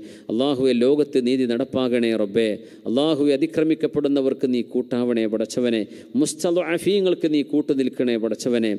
അള്ളാഹുവെ ഞങ്ങളുടെ കടബാധ്യതകളും ഞങ്ങളുടെ വിഷമങ്ങളും പ്രയാസങ്ങളും ദുരിതങ്ങളും മാനസികമായും ശാരീരികമായും സാമ്പത്തികമായും അനുഭവിക്കുന്ന വേദനകളും ഞങ്ങൾ ഓരോരുത്തരുടെയും വിഷമങ്ങളെല്ലാം കൃത്യമായും വായിച്ചെടുക്കാൻ കഴിയുന്ന റബ്ബേ ഈ എൽമിന്റെ മജലിസിൽ വെച്ച് ദ്വാ ചെയ്യുന്നു റബ്ബേ അള്ളാഹു ഇതിന് പരിഹാരം നൽകണേ റബ്ബേ പരിഹാരം നൽകണേ റബ്ബേ പരിഹാരം നൽകണേ പടച്ചവനെ അള്ളാഹുവെ വീടുകളിൽ സന്തോഷം നൽകണേ റബ്ബേ ദാമ്പത്യ ജീവിതത്തിൽ ഭാര്യ ഭർത്താക്കന്മാർ തമ്മിൽ മനസ്സിൽ സ്നേഹമുണ്ടാവണേ റബ്ബേ കരുണയുണ്ടാവണേ റബ്ബേ പരസ്പര പാരസ്പര്യ ബോധമുണ്ടാവണേ പടച്ചവനെ. കുടുംബം സംരക്ഷിക്കുന്ന കുടുംബത്തിൽ ഇസ്സത്തുള്ള അഭിമാനമുള്ള അവസ്ഥ നീ നൽകണേ റഹ്മാനെ. ഞങ്ങളുടെ മക്കളൊക്കെ പഠിക്കുകയാണ്. പഠനം പൂർത്തിയായി. ഉന്നത പഠനങ്ങളിലേക്ക് പോകുന്നവർ അല്ലെങ്കിൽ ജോലിയിലേക്ക് പ്രവേശിക്കുന്നവരായ മക്കളുണ്ട്. അള്ളാഹു അവർക്കൊക്കെ നീ നല്ല നല്ല ചിന്തകളും നല്ല അമലും നല്ല കൂട്ടുകെട്ടും നല്ല സാഹചര്യങ്ങളും നൽകണേ അല്ലാ ഞങ്ങളുടെ ആൺമക്കളെയും പെൺമക്കളെയും നീ കാത്തുകൊള്ളണേ റഹ്മാനെ. അവരാരും വഴിതെറ്റിപ്പോകുന്ന അവസ്ഥയിലേക്ക് പോകാതെ കാക്കണേ അല്ലാ ഹിതായത്തിന്റെ വഴിയിൽ നിലനിർത്തണേ പടച്ചവനെ. മക്കൾ എന്താണ് ചെയ്യുന്നത് എന്താണ് കാണുന്നത് എന്തൊക്കെയാണ് അവർ പ്രവർത്തിക്കുന്നതെന്ന് പോലും മോണിറ്റർ ചെയ്യാൻ കഴിയാത്തൊരു കാലമാണ്. അള്ളാഹുവെ നീ അവരെ കാവലിലാക്കണേ പടച്ചവനെ. നീ കാത്തുകൊള്ളണേ പടച്ചവനെ. നിന്നെ ഞങ്ങൾ ഏൽപ്പിക്കുകയാണ് റബ്ബെ. ഞങ്ങളുടെ ദീനും ഞങ്ങളുടെ അമലും ഞങ്ങളുടെ മക്കളും ഞങ്ങളുടെ കുടുംബവും ഞങ്ങളുടെ നാടും ഞങ്ങളുടെ ദീനും ഞങ്ങളുടെ സംഘടനകളും ഞങ്ങളുടെ സ്ഥാപനങ്ങളും മസ്ജിദുകളും എല്ലാം അള്ളാഹു നിന്നെ ഏൽപ്പിക്കുകയാണ്. അള്ളാഹു നീ ഇത് കാവലിലാക്കണേ റബ്ബേ സൂക്ഷിക്കണേ റബ്ബേ കാത്തുകൊള്ളണേ റബ്ബേ. അള്ളാഹു നീ ഞങ്ങളെ കാക്കണേ റബ്ബേ. പടച്ചവനെ ഞങ്ങളുടെ രോഗികൾക്ക് ശിഫ നൽകണേ റബ്ബേ. മരണപ്പെട്ടവർക്ക് മഫറത്ത് ചെയ്യണേ റബ്ബേ. അവരുടെ കൺകുളിർക്കുന്ന സന്തോഷം അവർക്ക് ഖബറിൽ കൊടുക്കണേ റബ്ബേ. അത് ഒറ്റക്കുള്ളൊരു ജീവിതമാവാതെ റബ്ബേ നിന്റെ റഹ്മത്ത് അവർക്ക് കൂട്ടാവണേ അള്ളാ നാളെ ഞങ്ങൾക്കും നീ റഹ്മത്ത് കൊണ്ട് കൂട്ടു നൽകണേ റഹ്മാനെ. ഒരുപാട് ആളുകൾ മരിച്ചു പോകുമ്പോൾ ഞങ്ങളത് വായിക്കുകയാണ് ദ്വാരക്കുകയാണ്. നാളെ ആ മരിക്കുന്നവരുടെ ലിസ്റ്റിൽ ഞങ്ങളും പെട്ടുപോകുന്ന അവസ്ഥ വളരെ വിദൂരമല്ലല്ലോ റബ്ബേ. അള്ളാഹുവെ മരണത്തിന് വേണ്ടി ഒരുങ്ങാനും പരലോകത്തെ യാത്രയ്ക്ക് വേണ്ടി ഒരുങ്ങി നിൽക്കാനും നിന്നോട് പാപമോചനം ചോദിച്ച് തോപ ചെയ്ത് മടങ്ങാനുമുള്ള മനസ്സ് ഞങ്ങൾക്കും ഞങ്ങളുടെ യുവാക്കൾക്കൊക്കെ പ്രത്യേകിച്ചും അള്ളാഹുവെ ഞങ്ങളോട് സഹോദര സഹോദരിമാർക്ക് ഞങ്ങളുടെ ബന്ധമുള്ള എല്ലാ മുമ്മിനും മുമ്മിനാത്തുകൾക്കും അത്തരം തോപ ചെയ്യാനുള്ള മനസ്സ് നൽകണേ റബ്ബേ. അള്ളാഹു ഇന്ന തുബിനായിലേക്ക് റബ്ബേ ഞങ്ങൾ നിന്നിലേക്ക് മടങ്ങുകയാണല്ലോ നിന്നിലേക്ക് തൗബ ചെയ്യുകയാണല്ലോ തെറ്റുപോ തെറ്റുപറ്റിപ്പോയിട്ടുണ്ട് റബ്ബേ. തിന്മകൾ സംഭവിച്ചു പോയിട്ടുണ്ട് റബ്ബേ. തെറ്റുകുറ്റങ്ങളെല്ലാം നീ അറിയുന്നവനാണ്. അതിന്റെ എല്ലാ കൃത്യമായ വിവരങ്ങളും നിനക്കറിയാം റബ്ബേ. ഞങ്ങൾ മറന്നുപോയതുപോലും നീ മറക്കുന്നില്ല. അല്ലാ പടച്ചവനെ ഞങ്ങൾക്ക് മാപ്പാക്കണേ റബ്ബേ. ഞങ്ങൾക്ക് പുറത്തു തരണേ റബ്ബേ. ഞങ്ങളോട് ക്ഷമിക്കണേ അല്ലാ. നീ ഞങ്ങളോട് പൊറുക്കണേ റബ്ബേ. അള്ളാഹുമ്മ ആമിൽന ബിഫദ്ലിക ലാ ബിഅദലിക്. അള്ളാഹുമ്മ ആമിൽന ബിഫദ്ലിക ലാ ബിഅദലിക്. അള്ളാഹുമ്മ ആമിൽന ബിഫദ്ലിക ലാ ബിഅദലിക. اللهم أدخلنا الجنة مع الأبرار يا عزيز يا غفار مع النبي المصطفى محمد صلى الله عليه وسلم وأصحابه الأخيار بحق النبي المصطفى صلى الله عليه وسلم وأهل بيته الأطهار وبحق المصطفى محمد صلى الله عليه وسلم وأصحابه وصحبه البررة الكرام. اللهم صل وسلم على سيدنا محمد طب القلوب ودوائها وعافية الأبدان وشفائها ونور الأبصار وضيائها وعلى آله وصحبه وسلم. اللهم صل صلاة كاملة وسلم سلاما تاما على سيدنا محمد الذي تنحل به العقد وتنفرج به الكرب وتقضى به الحوائج وتنال به الرغائب وحسن الخواتم ويستسقى الغمام بوجهه الكريم. اللهم اجعل هذا البلد آمنا مطمئنا رخاء سخاء وسائر بلاد العالمين. اللهم ارحم الشيخ زايد والشيخ مكتوم وإخوانهما شيوخ الإمارات الذين انتقلوا إلى رحمتك. اللهم ألبس رئيس الدولة لباس العفو والعافية. اللهم ألبسه لباس العافية. اللهم أطل في عمره. اللهم أيده بالحق وأيد الحق به ونائبه وسائر حكام الإمارات. اللهم خذ بأيدينا ونواصينا إليك. أخذ الكرام عليك. اللهم اجعل هذا البلد آمنا مطمئنا رخاء سخاء. اللهم اشفنا واشف مرضانا ومرضى المسلمين أجمعين. اللهم أذهب عنا الوباء. اللهم ارفع عنا الوباء. اللهم لا تعذبنا بالبلاء. اللهم اشف المصابين بهذا الداء. ربنا تقبل منا إنك أنت السميع العليم. وتب علينا إنك أنت التواب الرحيم. واغفر اللهم لنا ولوالدينا ربنا ارحمهم كما ربونا صغارا. آمين. برحمتك يا أرحم الراحمين. وصلى الله تعالى وسلم على خير خلقه سيدنا محمد وآله وصحبه أجمعين. سبحان ربك رب العزة عما يصفون. وسلام على المرسلين والحمد لله رب العالمين. بفضل صلى الله على محمد صلى الله عليه وسلم. صلى الله على محمد صلى الله عليه وسلم اللهم صل على محمد يا رب صل عليه وسلم وصل على جميع الأنبياء والمرسلين والحمد لله رب العالمين ഇന്ന് ഇരുപത് ഇസ്മല്ലേ ആയത് ഇരുപത്തി ഒന്നാണ് അല്ലേ ഷാ അള്ളാഹ് അടുത്ത ഇസ്മ ഇൻഷാ അള്ളാഹുൽ അസീസ് നമ്മൾ പഠിക്കാൻ പോകുന്നത് ഇസ്മുല്ലാഹിൽ ഹലീം ഹലീം എന്ന ഇസ്മാണ് ഇൻഷാ അള്ളാഹ് ഓക്കെ? അള്ളാഹുവിന്റെ ഹെൽമ് അള്ളാഹു സഹനമുള്ളവനാണ്. അള്ളാഹു ചാല കൃത്യമായും അള്ളാഹുവിന്റെ പ്രവർത്തനങ്ങൾ ഇടപെടലുകൾ യുക്തിഭദ്രമാണ് അള്ളാഹു ക്ഷമയുള്ളവനാണ് എന്ന വലിയ ഒരു ആശയമുള്ള ഇസ്മാണ് ഇസ്മുല്ലാഹിൽ ഹലീം. അതിന്റെ വിവിധങ്ങളായ അർത്ഥങ്ങളും അതിന്റെ മറ്റു വിശദീകരണങ്ങളൊക്കെ നമുക്ക് ഇൻഷാ അള്ളാഹ് പഠിക്കാം. അള്ളാഹു തൊഫീക്ക് ചെയ്യട്ടെ. സുബ്ഹാനക അല്ലാഹുമ്മ ബിഹംദിക അഷ്ഹദു അല്ലാ ഇലാഹ ഇല്ല അൻത അസ്തഗ്ഫിറുക വഅതൂബു ഇലൈക്. അസ്സലാമു അലൈക്കും വറഹ്മത്തുള്ളാഹി വബറകാതുഹു.